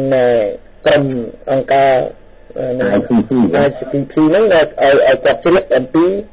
ដើមតងនឹងរឿងបញ្ហានៅស្រុកខ្មែរដែលជាបញ្ហាមួយទៅធំបំផុតនៅជាបញ្ហាចម្បងនៅក្នុងប្រទេសកម្ពុជាយើងហ្នឹងតើបងដែលចាត់ទៅនឹងគណៈកម្មាធិការទាំង3រូបអញ្ជើញទៅនេះតើគាត់មានបានអឺ ជំនាឬមានបានដំណឹងពីអង្គការសហជីវជាតិគឺនឹងយកខំយើងយ៉ាងណាដែរដែលសូមមកជួយបន្ថយតំណែងឲ្យបងប្អូនយើងស្ដាប់ដែរអង្គការសហជីវជាតិគឺនឹងចាត់នៅតំណាងគេឬមួយយ៉ាងម៉េចគឺឲ្យយើងចូលឬគ្រាន់តែយើងជួយជាយោបល់ទេយ៉ាងណាសូមបងជួយបន្ថយតំណែងបាទអានឹងខ្ញុំសូមរៀបរាប់អំពីណែកញ្ញាទេវីណាគាត់គាត់ធ្វើធ្វើការនៅ UN ដូចជាលោកបានជ្រាបហើយ ហើយកញ្ញាទេវីនេះបានចូលមករួមធ្វើជាគណៈកម្មការរបស់កបៈគឺខាងណែអឺជាអនុប្រធានតែងតាំងឲ្យគេជាអនុប្រធានរបស់កបៈនឹងហើយដល់អញ្ចឹងទៅគឺថាវាមានការស្រួលក្នុងការចេញចូលទៅតាម UN តែកណាមានប្រជុំអីឡើងគាត់មានសិទ្ធិអាចយក6នាក់ចូលបានយ៉ាងស្រួលគឺយើងមិនមែននៅខាងក្រៅទេតែឥឡូវនេះយើងមានទាំង អឺបែបមានទាំងអីនេះអាចចូលទៅបានហើយហើយបើសិនជាអឺលោកចង់ជ្រាបខ្ញុំនឹងផ្ញើឯកសារនឹងជូនដើម្បីឲ្យលោកដឹងថានេះជាផ្តានយើងមិនមែននៅចូលតែខាងក្រៅទេបាទនឹងហើយការដែលចូលទៅនេះអឺគឺដែលធ្វើអានេះ topic របស់គេខាង human rights ពិភពលោកហ្នឹងតើមាន violation យ៉ាងម៉េចតើស្អីស្អីយ៉ាងម៉េចហ្នឹងហើយប៉ុន្តែយើងខាងប្រទេសខ្មែរ តែយើងមានអង្គការកបៈហ្នឹងហើយទៅដើម្បីចូលទៅអឺយើងប្រាប់គេថា human rights ការសិទ្ធិមនុស្សនៅក្នុងស្រុកខ្មែរហ្នឹងខំអឺ waste and waste គឺថាវាចេះតែខ្លាំងទៅខ្លាំងទៅមានការរំលោភដីមានការដឹងពលរដ្ឋមានការធ្វើដីសម្បទានឲ្យយួនឲ្យ អុកញ៉ានឹងឲ្យម្លោះហើយមានរហូតដល់ចាប់ដាក់គុកនឹងមិនស្លាងនឹងហើយហើយតាមដំណឹងមកគឺខ្ញុំឃើញថាអ្នកបញ្ញាមនោវិជ្ជាក៏គេទៅដែរដូច្នេះហើយយើងក៏បាននឹងទៅជួបគ្នានៅថ្ងៃហ្នឹងប៉ុន្តែការដែលធ្វើនេះគឺណាវាមិនអាចជួបគ្នាក៏ថាបានពីព្រោះគេធ្វើតាំងពីថ្ងៃ26ខែនេះរហូតដល់ថ្ងៃទី3ខែ 21ឆ្នាំខែក្រោយខែក្រោយនេះណាខែទៅទៅរហូតដល់ខែក្រោយពីខែគេធ្វើពីខែ2នេះទៅបាទថ្ងៃថ្ងៃ26ខែ2រហូតដល់ថ្ងៃអឺ26ខែ3ណាដូច្នេះយើងទៅចន្លោះហ្នឹងដែលខ្ញុំជម្រាបមិញហ្នឹងគឺយើងទៅចន្លោះពីអឺខែ3ថ្ងៃ1រហូតដល់ថ្ងៃ19 ណានឹងគណៈកម្មការយើងតែដាក់គ្នាទៅណាបាទមុនដំបូងទៅ2នាក់រួចហើយទៅចប់មកទៅ2នាក់ទៀតប៉ុន្តែយើងចង់បានទៅឲ្យបានគ្រប់6នាក់ដែរព្រោះយើងមានសិទ្ធិអាចចូលរួមបាន6នាក់អញ្ចឹងហើយបានថាយើងមិនពិបាកដាក់ appointment អីទេគេថាបើយើងអឺគេមានប្រជុំហើយយើងអាចជៀសចូលទៅបានដោយសារ អឺទៅកម្ពុជាគឺកញ្ញាទេវីដែលធ្លាប់ធ្វើធ្វើការនៅនឹងគាត់ជាអ្នកតកណាយតែអញ្ចឹងហើយបានសូមលើកជ្រាបបាទតែដំណឹងនឹងតែវាវា possible ទៅមិនមែនថាយើងចេញទៅនៅតែក្រៅណាយើងចូលទៅដល់ក្នុងតែម្ដងបាទដំណើរថាយើងយើងយើងយើងចូលទៅនេះគឺយើងមានតាំងពីឯកសារទាំងអស់យកទៅស៊ីនិតនៅឲ្យអង្គការសហប្រជាជាតិហ្នឹងគាត់អឺ ក៏រៀបឬក៏ទទួលយកពីពីដៃយើងពីពីពីយើងដើម្បីយកទៅពិចារណាឬមួយយើងទៅបន្ថែមមានទាំងសមាជិកសមាជិកាយើងចំនួន3រូបហ្នឹងចូលទៅបន្ថែមដើម្បីជួយបំភ្លឺទៅតាមរយៈ speed ហ្នឹងមិនចឹងទេតាមយើងយើងថតយើងយើងបំភ្លឺតាមសំឡេងណាអាហ្នឹងគឺវាទៅតាមនេះមួយយើងគ្រាន់តែទៅទៅស្ដាប់ទេទេហើយនៅក្នុងនេះមេទីនេះគេអាច គេអាចស៊ូវីនីយើងនេះគេអាចយល់យើងនេះគេអាចទទួលយើងបានគេអាចទទួលយើងជាដូចបានជម្រាបមកហើយថាអឺកញ្ញាសិនទីនេះគឺគាត់ជាសមាជិកអង្គការសហប្រជាជាតិផ្ទាល់ហើយក៏ប៉ុន្តែយើងពីររូបទៀតតែយើងទៅនឹងយើងមានសំអាងទៅលើអីឬមួយយើងទៅទៅដោយរយទៅតាមកញ្ញាសិនទីនេះគឺថាសូមបងជួយបន្ថែមបំភ្លឺដើម្បីកុំឲ្យមានការ អឺពីព្រោះឥឡូវយើងដឹងហើយថាសង្គម Facebook នឹងគឺវាលឿនជាងវាស្អែកទៅទៀតអញ្ចឹងវាវាមិនមានការគឺមួយគឺមិនទុកចិត្តយើងមួយគឺមិនចូលចិត្តយើងមួយគឺមិនស្របតាមយើងអញ្ចឹងទៅគឺតាមតាមយើងដល់កណាតាមតាមយើងមានយើងមានការមានគេហៅថាចន្លោះប្រហែលកន្លែងណានោះគឺគឺនឹងវាយយើងកន្លែងហ្នឹងអញ្ចឹងតែបងអាចជម្រាបបញ្ជាក់ឲ្យឃើញថា គណៈកម្មការយើង3រូបសមាជិកយើង3រូបនេះទៅគឺថាមិនមែនជាទៅអត់ប្រយោជន៍ទេគឺទៅមានប្រយោជន៍ពីព្រោះគេនៅចាំទទួលយើងហើយនឹងគេចាំទទួលអឺសំណុំរឿងនៅឯកសាររបស់យើងហើយនឹងគេយកទៅសមិទ្ធយកទៅអីចឹងទៅណាតែវារឿងហ្នឹងវាអាចខ្លាយទៅចឹងមែនឬមួយយ៉ាងម៉េចទៅបងជួយបន្ថែមបំភ្លឺឲ្យរឿងមានខានតែខ្លាំងឡើងខ្លាំងឡើង ហើយដល់ទៅប្រជាពលរដ្ឋយើងគឺមានជំនឿជួយទៅលើសិនទីវិញមានជំនឿទៅលើទៅលើគណៈកម្មការយើងគឺរូបតែសូមបងសូមជើញហ្នឹងមែនទេណាបាទអានឹងឯងខ្ញុំសូមជម្រាបអ្នកដែលស្ដាប់ដូចណែលោកក្នុងចក្រាមានប្រសាសន៍នឹងអញ្ចឹងគឺថាមាន អ្នកខ្លះទៅវាចេះតែវាទៅហាគ្នាថាมันបានចូលដើរទៅក្រៅចូលទៅបន្ទប់ទៅបន្ទប់តាំងអីត្រូវត្រូវតែការនេះមិនមែនទេគឺយើងទៅធ្វើជាស្ទីផងហើយធ្វើជាឡប់ពីផងរួចហើយយើងមានតែដាស់ស្នាមបតបបន្តទៅទៀតបាទអញ្ចឹងហើយបានយើងទៅប្រដាក់គ្នាដើម្បីឲ្យបានចង់ឲ្យបានគ្រប់អានេះទាំង4 5 4 session នេះផងប៉ុន្តែយើងវាស្មានគ្នាដោយសារបញ្ហារឿងលុយកាក់ដែលណាដោយសារបញ្ហាកបាក់យើងវាខ្វះខាតដោយចាស់ដែរឥឡូវនេះមិនតែប្រមូលនឹងហើយបានប្រហែលជា4 5 6ទេនៅក្នុងឱកាសនេះក៏សូមមេត្តាអឺអពានាដល់សមាជិកសមាជិការបស់កបៈយើងដែរគេថាសូមមេត្តាជួយណែដល់យើងតតនា ឲ្យអ្នកដែលធ្វើការនឹងវលិនជាខ្លាំងទៅទៅគ្នាក៏ពិបាកដែរការវលិនជាមិនថាទេមិនថាខ្ញុំទេដល់ហើយតតាអស់ឆ្នាំងបាយគឺថាឆ្នាំងបាយមុខតែមុខតែតតបវិញតែតបវិញយើងក៏មានបញ្ហាដែរដូច្នេះក្នុងនេះសូមបញ្ជាក់ថាយើងមិនមែនទៅនឹងមិនមែនទៅឈរនៅក្រៅហើយមិនមែនយកបញ្ញត្តិទៅឲ្យទៀតគឺយើងទាំងស្ពេចទៀតផងហើយយើងទៅ ធ្វើដែល lobby ទៀតថែមទៀតនៅជុំវិញពីព្រោះអស់លោកដឹងស្រាប់ហើយការប្រជុំមួយមួយមុននឹងចូលស្ពេចជាទៅធ្វើជា panel តូចតូចតូចតូចណាមួយដល់អ្នកអីចឹងមកឬហើយយើងមានតំណាងយើងខំជាជាទុទាយ៉ាងម៉េចដើម្បីឲ្យបានចូលហើយនៅពេលនេះអឺខ្ញុំនឹង មិនដឹងថាគេឲ្យថតឬមិនថតទេពីព្រោះជាណាគេ confident ដែរណាណាបាទហ្នឹងហើយប៉ុន្តែយ៉ាងហោចណាស់ក៏បានសម្លេងអីមកខ្លះដែរហើយនឹងជម្រាបជូនដល់សមាជិកសមាជិកាយើងហើយសូមអរគុណណាអស់លោកជាច្រើនណាដែលបានទៅប្រកាសក្នុងប្រមាណថ្ងៃនេះក៏បាន4 5 600ដែរប៉ុន្តែសូមជួយទៀតសូមជួយទៀតពីព្រោះយើងទៅដល់3នាក់នោះហើយអឺ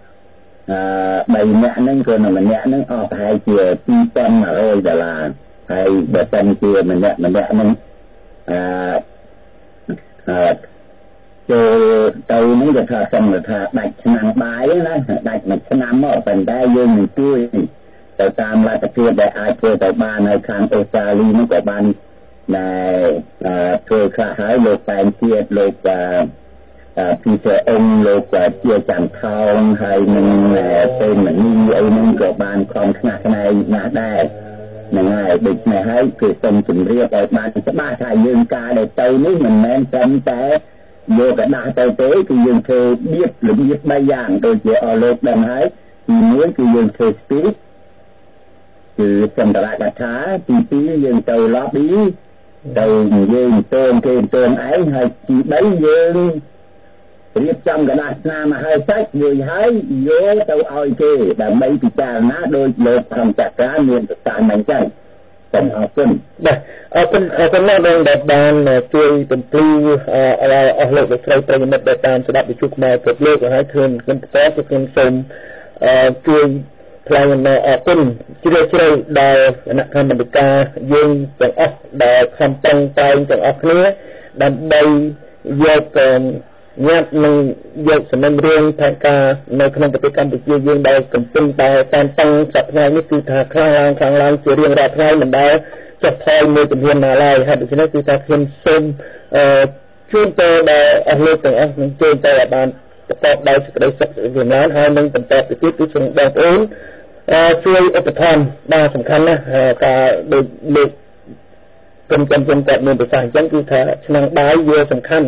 គឺថាពេលប្រើនៅទឹកគឺទឹកនឹងបាយបាទហើយដូច្នេះគឺថាការដែលធ្វើដំណើរទៅនេះមិនមែនចាយលុយនឹងគណៈកម្មការឬមួយសមាគមទេគឺរហូតដល់ទៅចាយលុយក្រុមគូសាផ្ទាល់ខ្លួនផងហើយដូច្នេះគឺថាសូមមេត្តាអនចិត្តទាំងប្រមាណគឺបោះបង់ចោលទៅហើយជួយគ្រប់គ្រងនិងជួយបន្ថែមណាកាលណាយើងនៅលើបណ្ដាំគ្នាអត់ដល់ទេហើយនៅពេលនេះជាពេលចុងក្រោយហើយដែលតាមស្ដាប់ លោកគុណច័ន្ទយើងក៏មានប្រសាសន៍នេះគឺថាគឺមិនមែនទៅតែត្រឹមតែសិតតែកដាស់ឬញាត់អីទេគឺថាចូលទៅស្ពីកនៅក្នុងនោះផងបាទសូមអរគុណដល់លោកកម្មយ៉ាងវិញដែលបានចាត់ចែងឲ្យមានគណៈកម្មការចូលទៅក្នុងនឹងកន្លែងសំខាន់មួយបាទគឺ United Nation ហ្នឹងគឺសំខាន់ណាស់នៅនៅឡាអូហ្នឹងបាទបន្តទៅខ្ញុំចង់យកសំណួរថ្មីថ្មីបាទសំណួរនេះគឺថ្មីថ្មីមែនតើ មិនថ្មីប៉ុន្មាននេះវាពី3ថ្ងៃហើយយើងដឹងហើយប៉ុន្តែគាត់ថាយើងថាថ្មីទៅចុះសម្រាប់លោកខ្ញុំចង់ដឹងថាបងប្អូនប្រជាពលរដ្ឋយើងនៅអូស្ត្រាលីនៅនោះគឺមានចដាយក្រុងឬមានតំណាងរាស្ត្រនៅលក្ខណៈហ្នឹងគឺកំពុងតែបានរៀបចំធ្វើមហាបតកម្មមួយទទួលណាសម្ដេចអី បាទបងបងត្រូវត្រូវចាំណាពាក្យថាសម្ដេចអីហ្នឹងណាបងត្រូវកន្លះមកវិញបាទខ្ញុំសូមផ្ដាំផ្ញើទៅចឹងផងណាកន្លះមកវិញគឺថាខ្ញុំឲ្យសម្ដេចអីហ្នឹងណាខ្ញុំថាខ្ញុំគោរពគាត់សម្ដេចអីហ្នឹងចេះចេះអីគាត់ទេខ្ញុំថាសម្ដេចអីហ្នឹងគាត់នឹងទៅទៅដល់ប្រជុំកម្ពុជាអាស៊ានពីបញ្ហាគេហៅថាពីវរកម្មពីវរៈដតែឥឡូវនេះខ្លួនគាត់ផ្ទាល់ជាមនុស្សពីវរកម្មទៅហើយបាទ គាត់ប្រកាសខ្លួនគាត់ហើយគាត់ថាបើមានបងប្អូនប្រជាពលរដ្ឋនៅអូស្ត្រាលីហ៊ានធ្វើរូបទិញម៉ូនយកទៅដុតគាត់នឹងតាមដៃទៅដល់ផ្ទះហើយដូច្នេះខ្ញុំចង់ជំរាបសួរទៅបងថារូបទិញម៉ូននឹងតើវាមានឥទ្ធិពលយ៉ាងម៉េចបានជាលោកសម្ដេចអីនឹងគាត់ប្រកាសខ្លួនថាគាត់នឹងតាមដៃទៅដល់ផ្ទះដូច្នេះសូមលោកជួយបំភ្លឺដល់បងប្អូនប្រជាពលរដ្ឋដែរគឺនៅថ្ងៃទី 17ថ្ងៃទី18បាទខ្ញុំពីថ្ងៃនេះខ្ញុំថាថ្ងៃទី16ប៉ុន្តែអត់អីទេខំមួយថ្ងៃវាជារឿងធម្មតាបាទហើយដូច្នេះគឺថាបងជួយបន្ថែមជួយបំភ្លឺតើវាមានអត្តពលយ៉ាងម៉េចបានជាសម្ដេចអីនឹងគាត់ខ្ញាល់ដល់ប៉ុណ្ណឹងបាទសូមជួយមើលផ្សាយបាទណាខ្ញុំបាទវាអត់ចំណាយតែវាអត់ចំណាយនៅសម្ដេចនោមណាតែសម្ដេចនោមនេះចុះវាអត់ចំណាយវាអត់ចំណាយតែ ខ្លួនឯងនឹងមានសិទ្ធិពេញនៅពិភពលោកហ្មងបាទនៅសម្ដេចនោមនោះវាមានពេលចិត្តពេញនៅពិភពលោកហើយខ្ញុំចាំពីមានបន្ថែមទៅឲ្យបងប្អូននៅនៅអូស្ត្រាលីនេះណាបាទបើខ្ញុំស្រួលទៀតណាខ្ញុំចង់ជិះកប៉ាល់ហោះ2000ដុល្លារនោះទៅទៅដុតតែហ្មងខ្ញុំទៅដុតទៅហើយអាតករួចហើយដុតរួចហើយអូវណានៃរបស់ប៉ុន្តែដោយសារវាឈឺផងវាអីផងអឺ កុំអីខ្ញុំក្រៅទៅហើយមែនទៅលីអស់លោកនឹងមានប្រសាអញ្ចឹងអឺដូចជាណែណែអស់លោកខាងប្រែទៅណានេះណាតែតំណងនេះតំណាងនេះហ្នឹងខ្ញុំលឺគាត់ដាក់មកអញ្ចឹង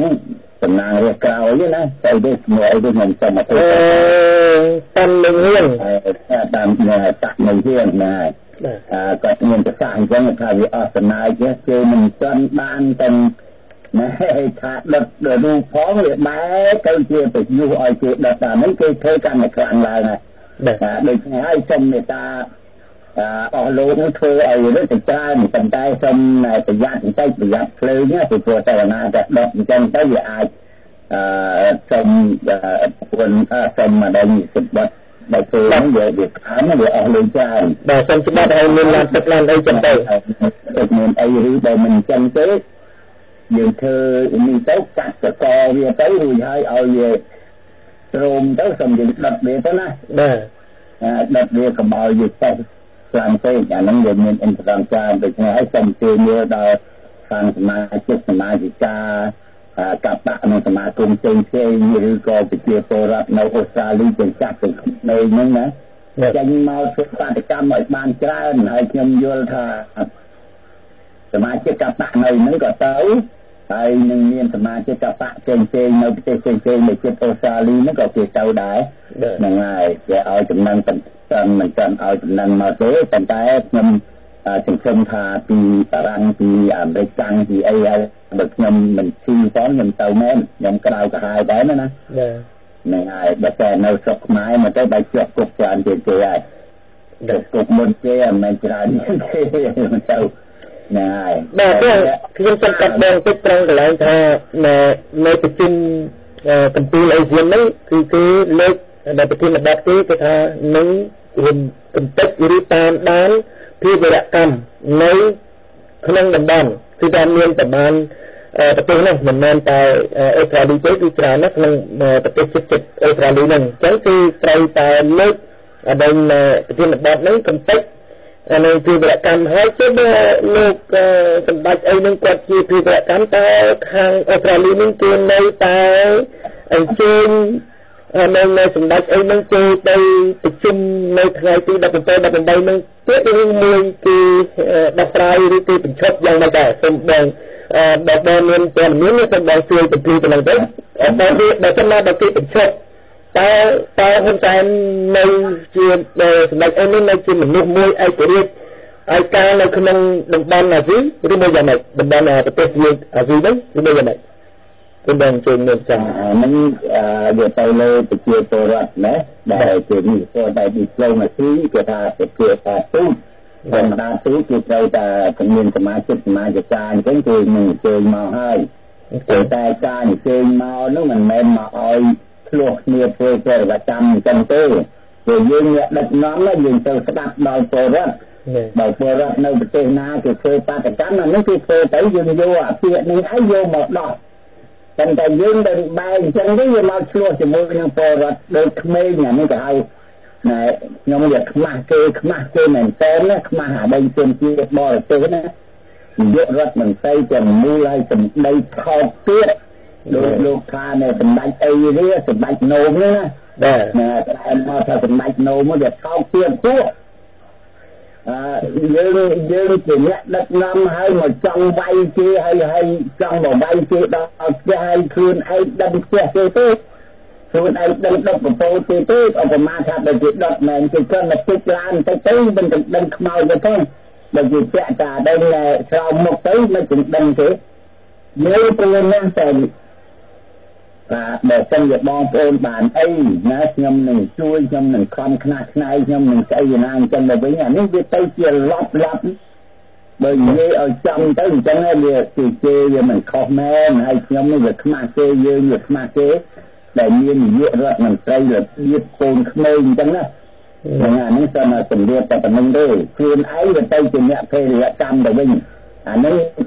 គឺណាស់តែអូស្ត្រាលីនេះចាប់ប៉ុន្តែការដែលប្រ ជាពលរដ្ឋពលរដ្ឋដែលនៅក្នុងនឹងគឺថាទៀមទាមិនចង់ឲ្យគាត់មកទេហើយបើមិនឃើញមិនចង់ឲ្យគាត់មកណាអានឹងវាអាប់មុខកាន់តែខ្លាំងឡើងដល់ពលរដ្ឋយើងទៅទៀតដល់ប្រទេសយើងទៀតហ្នឹងហើយសូមអរគុណបាទសូមអរគុណដល់គ្រូបញ្ជាក់ដែរតើបងមានពាក្យពេចន៍អីផ្ដាំផ្ញើទៅបងប្អូនប្រជាពលរដ្ឋយើងនៅតំបន់អូស្ត្រាលីទេសូមអញ្ជើញផ្ដាំផ្សាយទៅហើយសូម ញ៉ាដល់ដល់បងប្អូនទាំងអស់ដែលនៅអូស្ត្រាលីយើងត្រូវតែធ្វើបាតកម្មនឹងឲ្យបានធំណាកុំឲ្យបានតាម14 500ឲ្យឡើងមកពាន់ហ្នឹងទៅឡើងមកពាន់ហើយព្រោះយើងក៏មានគ្នាច្រើនដែរនឹងហើយហើយយកទាំងក្មេងទាំងចាស់អីហ្នឹងទៅនាំគ្នាដឹកបន្តិចបន្តិចម្នាក់ទៅខ្ញុំយល់ថាការដែលធ្វើបាតកម្មមិនមែនជាការស្រួលងាយទេវាទាំងថវិកាផងទាំងអីផងតែតែយើងត្រូវតស៊ូ ព្រោះពួកបើយើងមិនតស៊ូទេជាទឹកចុងក្រោយហើយដែលលោកហ៊ុនសែនយកប្រទេសយើងទៅដាក់នៅជារបៀបកុម្មុយនីសហើយយើងស្អប់ណាស់រឿងកុម្មុយនីសហើយក៏សូមអឺប្រឆាំងជាមួយនឹងចិននឹងដែរនៅអូស្ត្រាលីក៏មានរបស់ចិនរបស់អីមកលក់របស់យួនរបស់អីមកលក់នឹងសូមសូមទិញរបស់ចិនរបស់យួននឹងទៅទៀតយើងប្រឆាំងប្រឆាំងឲ្យដល់ពេលខ្ញុំនៅវិញចឹងអឺខ្ញុំជឿបំផុត គឺថាមិនទិញរបស់ឯនេះអានេះគឺថាយើងធ្វើតាំងពីសពបែបសពយ៉ាងនៅស្រុកខ្មែរក៏ដូចគ្នាយើងជួយកំទិញស្រុករបស់របរឧបភោគបរិភោគរបស់ចិនហើយនឹងយួនហើយនឹងរុស្ស៊ីនឹងអីទៅទៀតណាដូច្នេះសូមបាទផ្ដាំផ្ញើសូមមេត្តាចូលទៅរួមឲ្យបានច្រើនកកហើយសូមធ្វើយ៉ាងម៉េចកុំឲ្យផ្លិនផ្លត់រហូតដល់ឋានៈដែលវាតប់ អឺគ្នាទៅវិញទៅមកអីជាមួយនឹងគេបើគេធ្វើក៏ធ្វើទៅយើងធ្វើក៏ធ្វើទៅគេធ្វើយើងផ្លូវយើងធ្វើយើងផ្លូវទៅអានេះបើសិនជាមានតាមសម្ដេចណែនោមនឹងកថានឹងកថាចិត្តទៅទៅនេះម្ដងម្ដងមានទៅណាទៅណាមានដែលឃើញមកចេញណាដែលមកចេញមកពីណាចេញតែខ្លួនឯងពលៈតែមុខខ្លួនឯងដូច្នេះសូមអរគុណសូមបញ្ចប់តែប៉ុណ្្នឹងសូម មានសេរីសុខស្ដីជាមង្គលក្នុងឆ្នាំថ្មីយើងនេះបាទជម្រាបសួរអស់លោកអ្នកនាងមានស្ដាប់វិទ្យុខ្មែរពិភពលោកជាទីគោរពរាប់អានស្អីពិតស្អីកុហកបោកបញ្ឆោតបើមិនពិនិត្យពិចារណាឲ្យច្បាស់លាស់ទេមើលមិនដឹងឡើយមិនខុសពីបាហ៊ីមិនស៊ីលុយបាទពួកហ្នឹងលះណាស់បែកគេបង្ករឿងមកគ្រប់រូបបែបធ្វើឲ្យប្រជាពលរដ្ឋខ្មែរវិលមុខមើលត្រូវជាខុសឃើញខុសថាត្រូវ ច្រឡំបលអស់ហើយលោកម្ចាស់អើយសប្តាហ៍នេះខ្មែរក្នុងស្រុក បានត្រូវបំបែកចេញជា3ជា4ក្រុមធំធំពួកវណ្ណៈដឹកនាំដែលបានសុខសប្បាយព្រោះជាក្រុមគ្រួសាររបស់មេដឹកនាំរបស់មន្ត្រីថ្នាក់លើអតីតខ្មែរក្រហមខ្មែរយាមិញខ្មែរចង្រៃដែលលក់ឧត្តមកតេលក់ស្រុកទេសឲ្យបរទេសក្នុងទីនេះគឺឲ្យពួកអាយុនកន្តោប បាក់ខ្មែរដែលធ្វើការឲ្យក្រុមមេដឹកនាំដែលមានអំណាច ចង់ធ្វើអីក៏បានស្រេចតែនឹងចិត្តតែពេលនេះក៏មានក្រុមអ្នករកទទួលទានជាឈ្មួញថ្នាក់មធ្យមថ្នាក់កណ្ដាលហើយនឹងថ្នាក់ទៀតអ្នករាជការក៏សិតតែអ្នករាជការតូចតាចសុំតែមួយរស់ហើយចុងក្រោយគឺក្រមប្រជាពលរដ្ឋក្រីក្របាទ ដែលរដ្ឋាភិបាលដេរិឆានវាមិនសូវអើពើមិនថាជាកសិករកម្មករឬនិយោជិតតូចតាចដែលគួរតែជាក្លឹមរបស់ជាតិជាម្ចាស់នៃលទ្ធិប្រជាធិបតេយ្យពួកដែលបានទទួលសេចក្តីសុខខ្សែមខ្សានព្រោះតែជាបពពួករបស់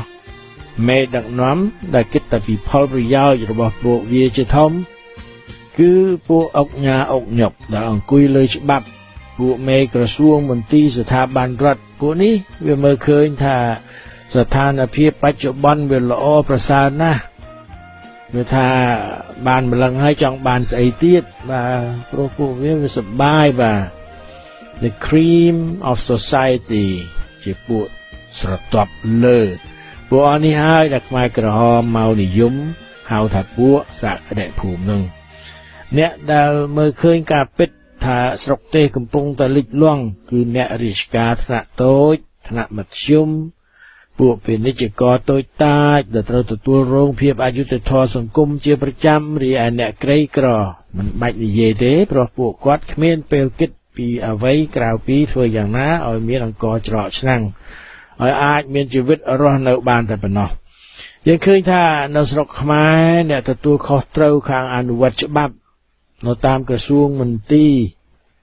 ពុំមានភាពស្ទុះស្ទាក្នុងការបំពេញតួនាទីរបស់ខ្លួនតលតែសោះភាពស្ពឹកស្រពន់ជាទូទៅ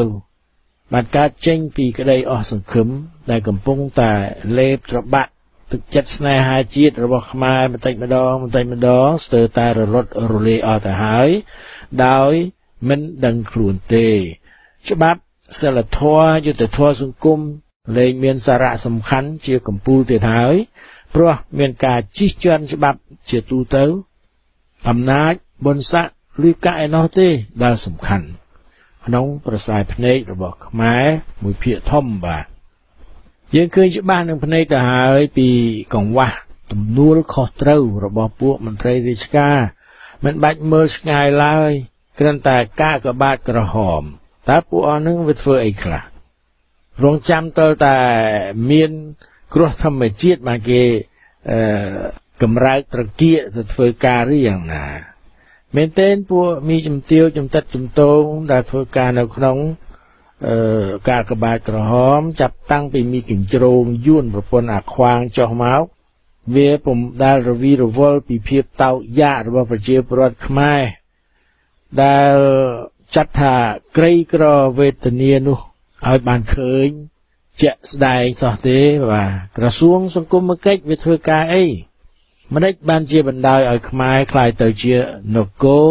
របស់ស្មោមសូមទៀនដូចសពថ្ងៃនេះទៅហើយមិនមែនឲ្យចាំតែដេញចាប់អ្នកសុំទៀនឬក្មេងអនាថាលក់ផ្កាលក់ស្ករគ្រាប់យកទៅដាក់មណ្ឌលព្រៃស្ពឺប៉ុណ្ណោះនោះទេ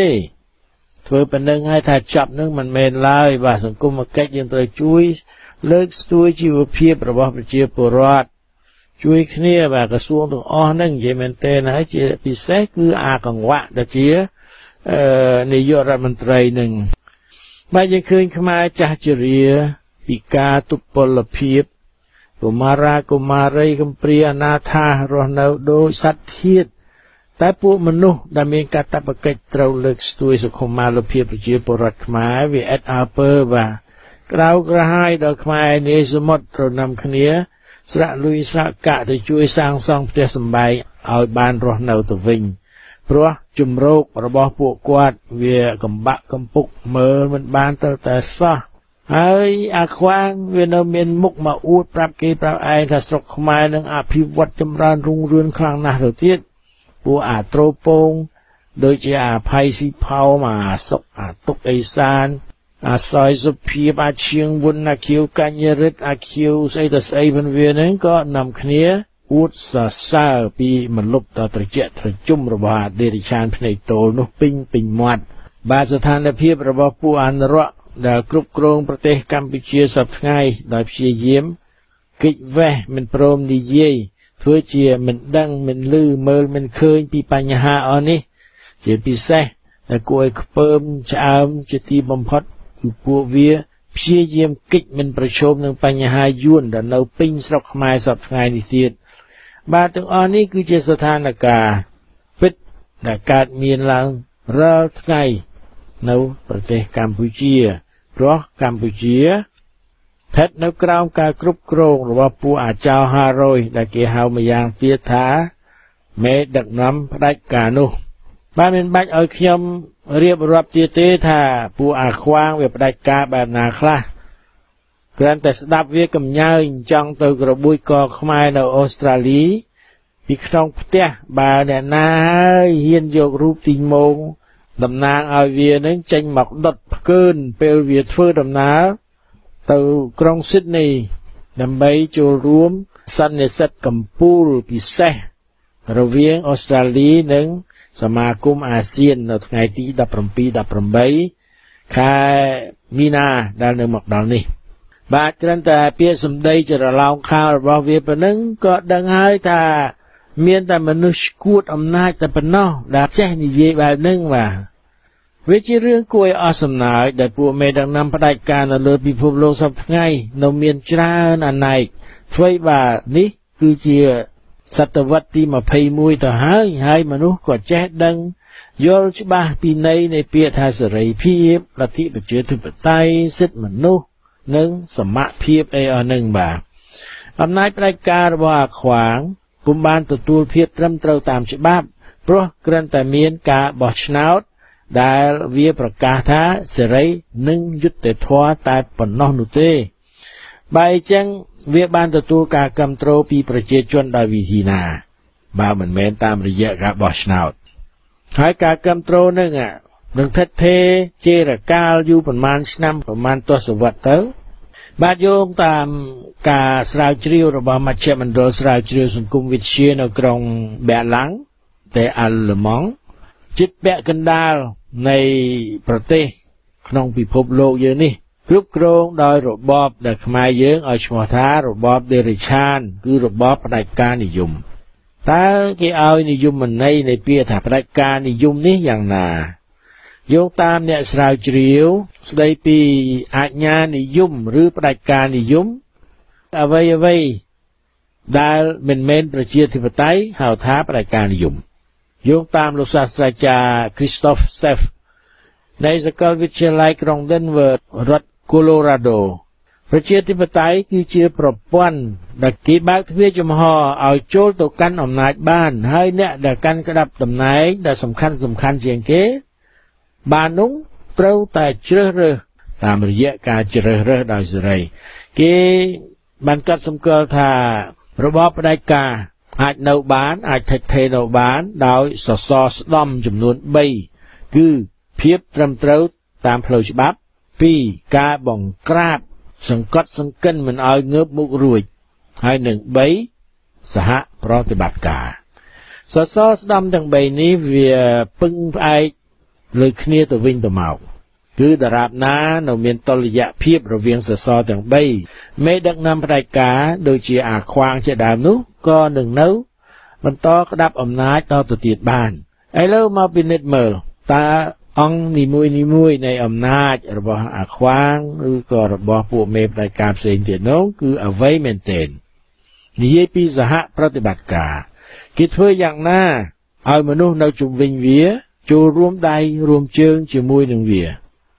មនុស្សទាំងនោះគឺក្រុមបកពួករបស់វា មានសិទ្ធិចូលរួមក្នុងប្រព័ន្ធផ្ដាច់ការរបស់វា ដោយអាទាបាញ់ដោយអាសខេងដោយអាស្អីអស់ហ្នឹងបាទសិតតែជាមនុស្សគម្រក់ទាំងអស់វារួបរวมមនុស្សគម្រក់នៅជាមួយគ្នាពួកអស់នេះចូលរួមក្តាប់អំណាចហើយក៏បានចំណេញបានផលប្រយោជន៍ពីប្រពន្ធចង្រៃនេះរបស់ពួកវាអាខ្វាងមិនអាចក្អាងតែម្នាក់ឯងបានឡើយ វានឹងងាប់ដោយសត្វពស់ឬដូចខ្មោចកាតាហ្វីបើវាគ្មានពួកអានរក់នៅជុំវិញវា ចាំការពារវាស្ងាត់ស្ងាត់នោះទេ យើងសង្កេតមើលឃើញហើយថាពួកអាមីអាថោងរបស់អាខ្វាងក្រៅពីកូនប្រពន្ធវានោះហើយក៏នៅមាន ពួកមេតបចង្រៃចង្រៃពួកអាអុកញ៉ាអុកញុកដ៏មានអធិពលជាច្រើនដែលបានផឹកទឹកសម្បត្តិ សម្បត្តិប្រាប់វាថានឹងស្លាប់រស់ជាមួយវា យើងឃើញហើយថាក្នុងក្រុមរបស់វា មានសាមគ្គីធម៌ខ្លាំងក្លាណាស់ក៏ប៉ុន្តែយោងតាមការស្រាវជ្រាវ របស់មជ្ឈមណ្ឌលនោះសហប្រតិបត្តិការគឺជាសសរស្ដំដែលខ្សោយជាងគេ ក្នុងចំណោមសសរនៃអំណាចផ្ដាច់ការទាំង3ហើយក៏មានអធិពលតិចជាងគេ ទៅលើ ស្ថិរភាពនៃរបបផ្ដាច់ការនោះផងបានសេចក្តីថារក្សាសហប្រតិបត្តិការរវាងចៅនឹងវាពិបាកបន្តិចបាទទី2គឺការបង្ក្រាបបំបាក់ស្មារតីនិងមតិបដិបកមិនឲ្យការតស៊ូប្រឆាំងរបបដេរិឆានអាចងើបមុខឡើងបាន ហើយសសរមួយនេះមានភាពរឹងប៉ឹងជាងសសរសហប្រតិបត្តិការលោកសាស្ត្រាចារ្យ Steph បានបញ្យល់ថានៅក្នុងចំណុចនេះ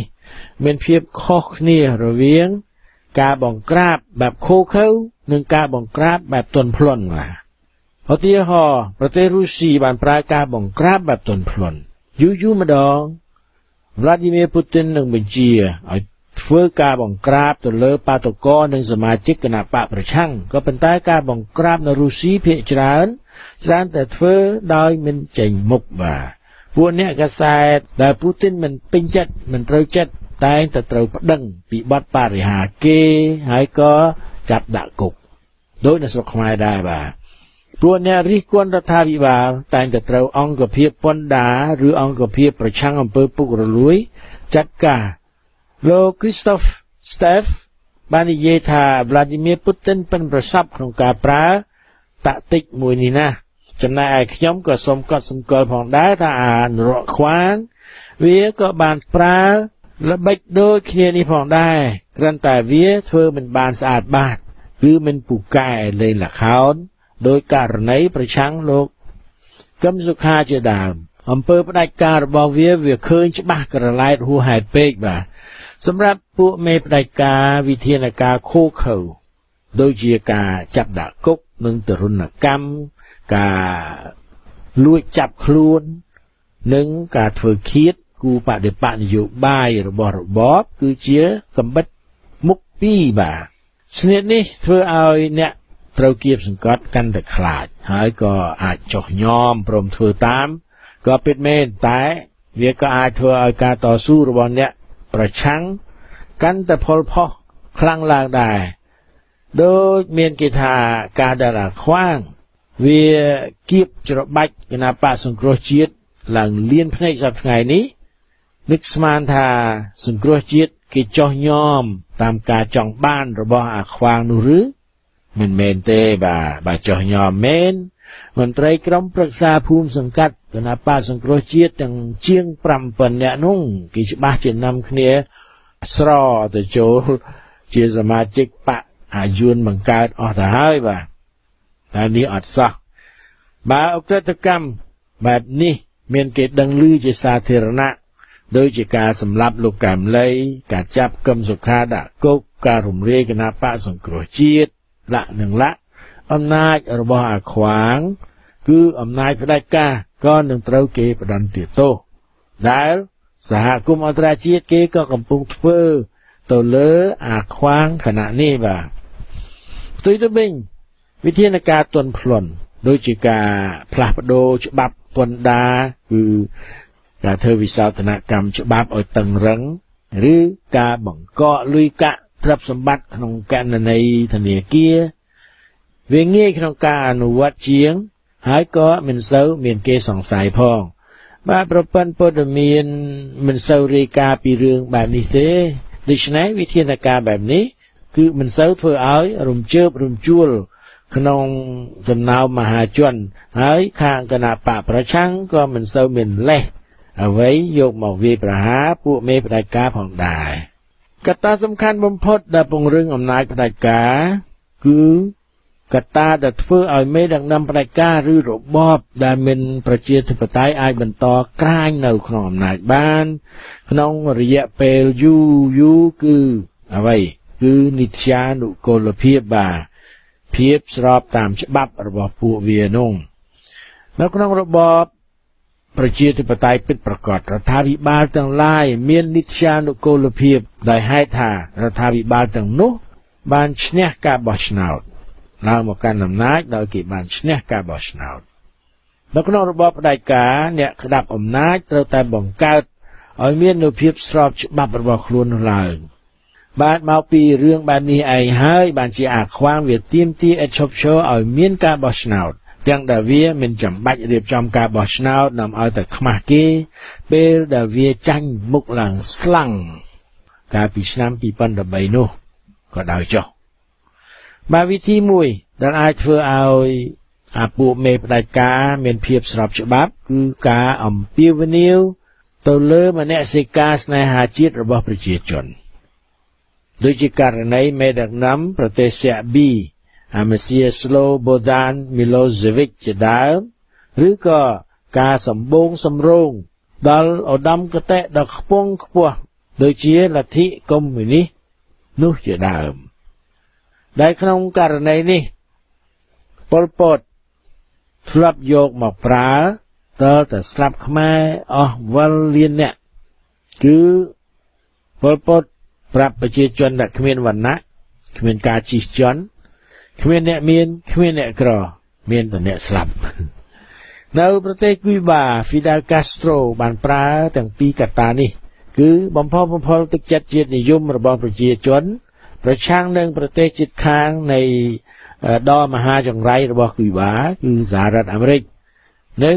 ក្នុងពេលជាមួយគ្នាកាស្ត្រូក៏ជំរុញប្រជាជនគូបាឲ្យក្តាប់ក្តោបយកលទ្ធិកុម្មុយនីសវិធីមួយទៀតដែលពួកអាមេដឹកនាំផ្ដាច់ការវាប្រើសម្រាប់ពន្យាអំណាចរបស់ពួកវាគឺពាក្យសន្យា ថានឹងនាំមកនូវភាពចម្រើនរុងរឿងផ្នែកសេដ្ឋកិច្ចដល់ប្រជាពលរដ្ឋ បាទពាក្យសន្យានេះបាននាំឲ្យបកកុម្មុយនីសចិនអាចបោះបង់ចោលនៅមនោគមវិជ្ជារបស់ខ្លួនដោយអិតភិតភ័យថានឹងមានការប្រឆាំងតវ៉ាពីមហាជនលោកសាស្ត្រាចារ្យ Christoph Steff បានឃើញនឹងភ្នែកលោកផ្ទាល់ថាយុទ្ធសាស្ត្របែបនេះសម្រាប់ជោគជ័យធំប៉ុណ្ណាពេលដែលលោកទៅបង្រៀននៅស្រុកចិន លោកបានសាកសួរនិស្សិតរបស់លោកថាតើពួកគេយល់យ៉ាងណា ស្ដីពីគំនិតយកលទ្ធិប្រជាធិបតេយ្យនិងប្រព័ន្ធសេរីពហុបកមកប្រើនៅស្រុកចិនពួកសិស្សរបស់លោកឆ្លើយព្រមព្រមគ្នាថាអូបើធ្វើអីចឹងអ្វីអ្វីទាំងអស់នៅស្រុកចិនច្បាស់ជាដួលរលំក្រាប់ចាក់អស់ហើយពួកនិស្សិតចិនជំទាស់ថាយើងនឹងនៅជាមួយបកកុម្មុយនីសចិនរហូត ព្រោះយើងក៏នឹងមានបានខ្លាយទៅជាអ្នកមានធូធាជាមួយនឹងគណៈបករបស់យើង បាទបញ្ហារបស់របបដេរឆានៅភ្នំពេញគឺវាសន្យាភាពសម្បូរហោហៀសបាយចាយមិនអស់ឲ្យតែក្រុមពួកវាគ្នាវាមួយក្តាប់តែប៉ុណ្ណោះគណៈដែលប្រជាពលរដ្ឋខ្មែរភាគច្រើនរស់នៅយ៉ាងអត្តឃាតវេទនាហើយមានមិនតិចអ្នកទេគឺដល់ទៅលានអ្នកបានត្រូវបង្ខំចិត្ត រត់ចោលស្រុកទៅរកការងារធ្វើនៅបរទេសការនេះគឺជាបរាជ័យនៃការដឹកនាំរបស់អាចង្រៃខ្វាងទាំងស្រុងបាទឥឡូវមករកចម្លើយទៅនឹងសំណួរថាតើអំណាចផ្ដាច់ការវានឹងដួលរលំបានដោយវិធីណាបាទយោងតាមមតិរបស់លោកសាស្ត្រាចារ្យ Christoph Steff អំណាចផ្ដាច់ការនឹងបន្តកាន់កាប់ កៅអីអំណាចតទៅទៀតដរាបណាសសរស្ដំទាំង3នៅថិតថេរនឹងមានតុល្យភាពបាទថ្ងៃអន្សាររបស់វានឹងមកដល់ក៏លុះត្រាតែប្រជាជនបះបោក្រោកឡើងប្រឆាំងនឹងការបង្ក្រាបគៀបសង្កត់របស់វា ឬពេលណាសហប្រតិបត្តិការក្នុងចំណោមពួកចៅនឹងវាលែងអាចជួយពួកវាឲ្យនៅ ក្តាប់អំណាចតទៅទៀតបាន ផ្ទុយទៅវិញវានឹងជំរុញឲ្យពួកវាកាន់តែពុករលួយបាទកាន់តែពុករលួយឡើងពុករលួយឡើងតែប៉ុណ្ណោះឬនៅពេលដែលអាមេផ្ដាច់ការរបស់វាប្រកាច់ស្លាប់បាទយ៉ាងតិនហន់ដោយមិនទាន់បាន កំណត់ជាមុនថាតើអ្នកណានឹងមកស្នងរាជជំនួសវា បានលោកសាស្ត្រាចារ្យ Christoph Steff បានប្រាប់ថាសេចក្តីសន្និដ្ឋាននៃការស្រាវជ្រាវរបស់លោកពុំអាចយកមកប្រើសម្រាប់ទស្សទាយការដួលរលំរបស់អាមេផ្ដាច់ការណាមួយបាននោះទេ ហើយក៏មិនអាចប្រាប់ជាមុនថារបបផ្ដាច់ការណាមួយនឹងដល់នៅកាលអវសាននោះក៏ទេដែរលោកបាននិយាយប្រាប់ទីភ្នាក់ងារព័ត៌មានអាល្លឺម៉ង់ Deutsche Welle ថា យើងមិនអាចទាយរឿងបែបនឹងទុកជាមុនបានឡើយអ្វីដែលយើងអាចនិយាយបានគឺផ្អែកលើកាលៈទេសៈពិសេសខ្លះនោះភវនីយភាពគឺភាពដែលអាចនឹងកើតមានបាន ដែលមេផ្ដាច់ការ ឬរបបអាជ្ញានិយមណាមួយនឹងដួលក្រឡាប់ផ្កាប់ផ្ងានោះ វាមានច្រើនជាង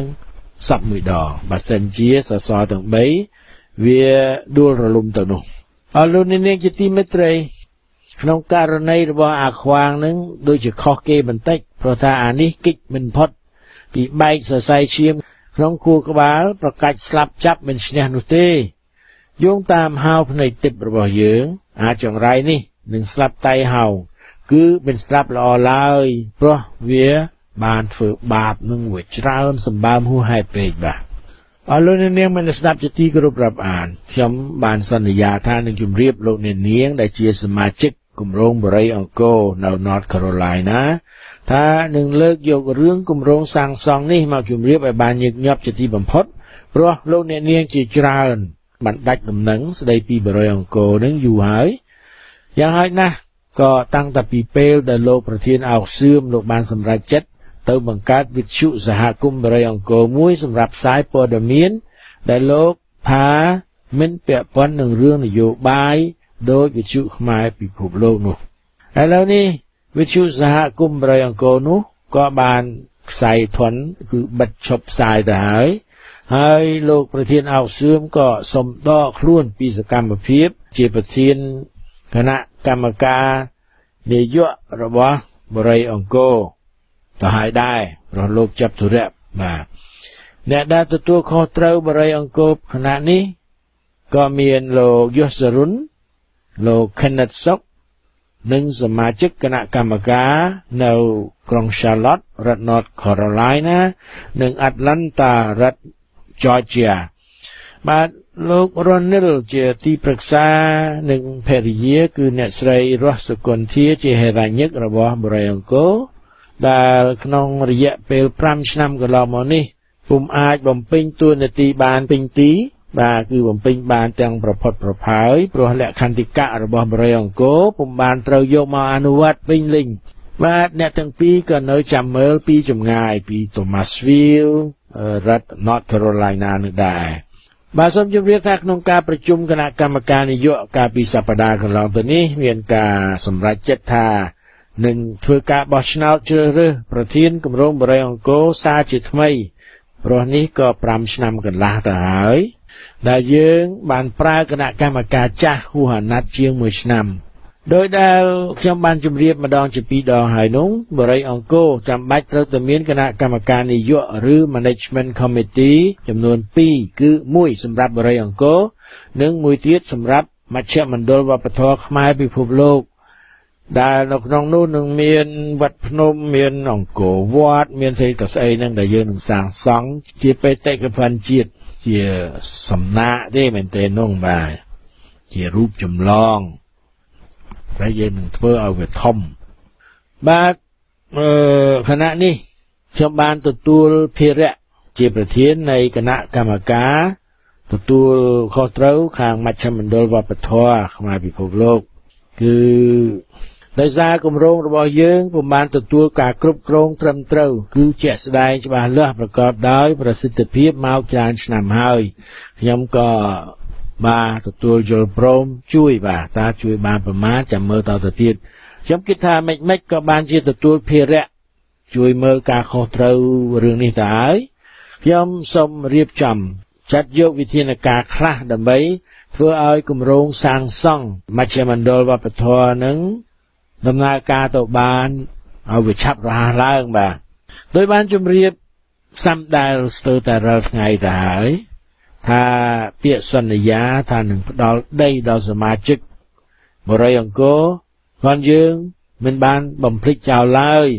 តែដើម្បីឲ្យចែកបាន ដើម្បីបើកឱកាសឲ្យចូលមកសាងកូនផ្ទះនៅលើដី ម្នាក់10890 square feet នឹងដំបូងត្រូវមានប្លង់សិនបាទ ហើយយើងបានជួលឲ្យក្រុមហ៊ុនគូប្លង់គេចាប់ផ្ដើមគូ building plan ហើយដែលនៅខ្វះគណៈនេះក៏គឺលុយដើម្បីបង់ថ្លៃជួលស្ថាបត្យករមកគូប្លង់នេះឯងបាទវិធីរកលុយដែលសមហេតុសមផលបំផុតគឺសូមឲ្យលោកអ្នកនាង ប្រមាណជា300នាក់ដែលនៅបង់ថ្លៃហ៊ុនមិនទាន់គ្រប់សូមមេត្តាបង់មកចុះដើម្បីឲ្យ លោកអ្នកនាងមានសិទ្ធិបានទទួលសិទ្ធិកាន់កាប់ដីធ្លីនោះផងហើយយើងក៏នឹងមានលុយប្រើប្រាស់ក្នុងការធ្វើប្លង់កសាងនោះផងដែរបាទខ្ញុំបានទទួលការណែនាំពីសមាជិកបរិយអង្គរនៅក្រុង Philadelphia រដ្ឋ Pennsylvania គឺលោកអ៊ុងនឿនលោកថាគម្រោងយើងគួរតែមានតំណាងនៅតាមរដ្ឋតាមប្រទេសនិងតាមតំបន់ផ្សេងផ្សេងដើម្បី ឲ្យស្រួលក្នុងការជូនដំណឹងដល់សមាជិកទាំងអស់ឲ្យបានដឹងរឿងបាទកុំដាច់ដំណឹងដោយសពថ្ងៃខ្ញុំយល់ស្របនឹងគំនិតនេះបាទហើយក៏បានសុំតែងតាំងលោកអ៊ុងនឿនជាតំណាងសម្រាប់រដ្ឋ Pennsylvania ដែលនៅរដ្ឋនេះយើងមានសមាជិកមិនតិចជាង30 40នាក់ឡើយក្រៅពីនេះខ្ញុំក៏បានតាក់ទងនឹងអ្នកគ្រូសូផានីបៃ នៅកាលីហ្វ័រញ៉ាសូមឲ្យអ្នកគ្រូធ្វើជាតំណាងបរិយអង្គរប្រចាំរដ្ឋកាលីហ្វ័រញ៉ាដែលយើងក៏មានសមាជិកច្រើនអ្នកណាស់ដែរបានអ្នកគ្រូបានយល់ព្រមថានឹងធ្វើជាតំណាងព្រោះអ្នកគ្រូមាន5ហ៊ុននៅក្នុងបរិយអង្គរយើងនឹងខ្ញុំនៅមិនទាន់បានស្នើទៅមិត្តភ័ក្តិអ្នកកនយើងនៅរដ្ឋដទៃទៀតនៅកាណាដានៅអឺរ៉ុបឬ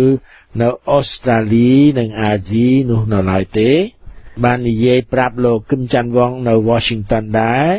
ប៉ុន្តែដូចយើងដឹងហើយថាលោកគឹមច័ន្ទវងនឹងការងារស្អីស្កាស់សុខភាពក៏មិនល្អដូច្នេះអាចនឹងសុំលោកហងចក្រាបារមីក៏បានបាទសូមឲ្យធ្វើជាតំណាងចំណែកនៅស្រុកបារាំងឃើញតែមានតែមិត្តយើងបាទគឺលោកថាច់ពីយ៉ា នៅ Swiss មានអ្នកស្រីថាច់សុភាពអូនស្រីរបស់លោកថាច់ពីយ៉ាបាទពុំនោះទេសូមជូនលោកប្អូនវ៉ាន់សនបាទ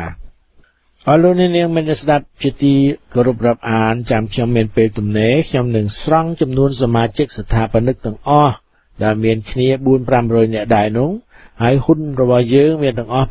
730ផ្លាយបាទអឺតែចំនួនមនុស្ស ដែលជាសមាជិកប្រហែលជា4 500នាក់ឬច្រើនជាងនឹង600ទាំងនេះព្រោះថាអ្នកខ្លះមាន2ហ៊ុនដូចជាអ្នកគ្រូមាន5ហ៊ុនខ្ញុំមាន2ហ៊ុនលោកអោសឿមមាន2ហ៊ុនហើយអញ្ចឹងជាដើមយើងចាំបាច់ត្រូវតែបន្ថែមលបឿននៃសេចក្តីព្យាយាមសាងសង់បរិយអង្គរឲ្យចេញជារូបរាងយ៉ាងហោចណាស់ក៏ត្រូវតែ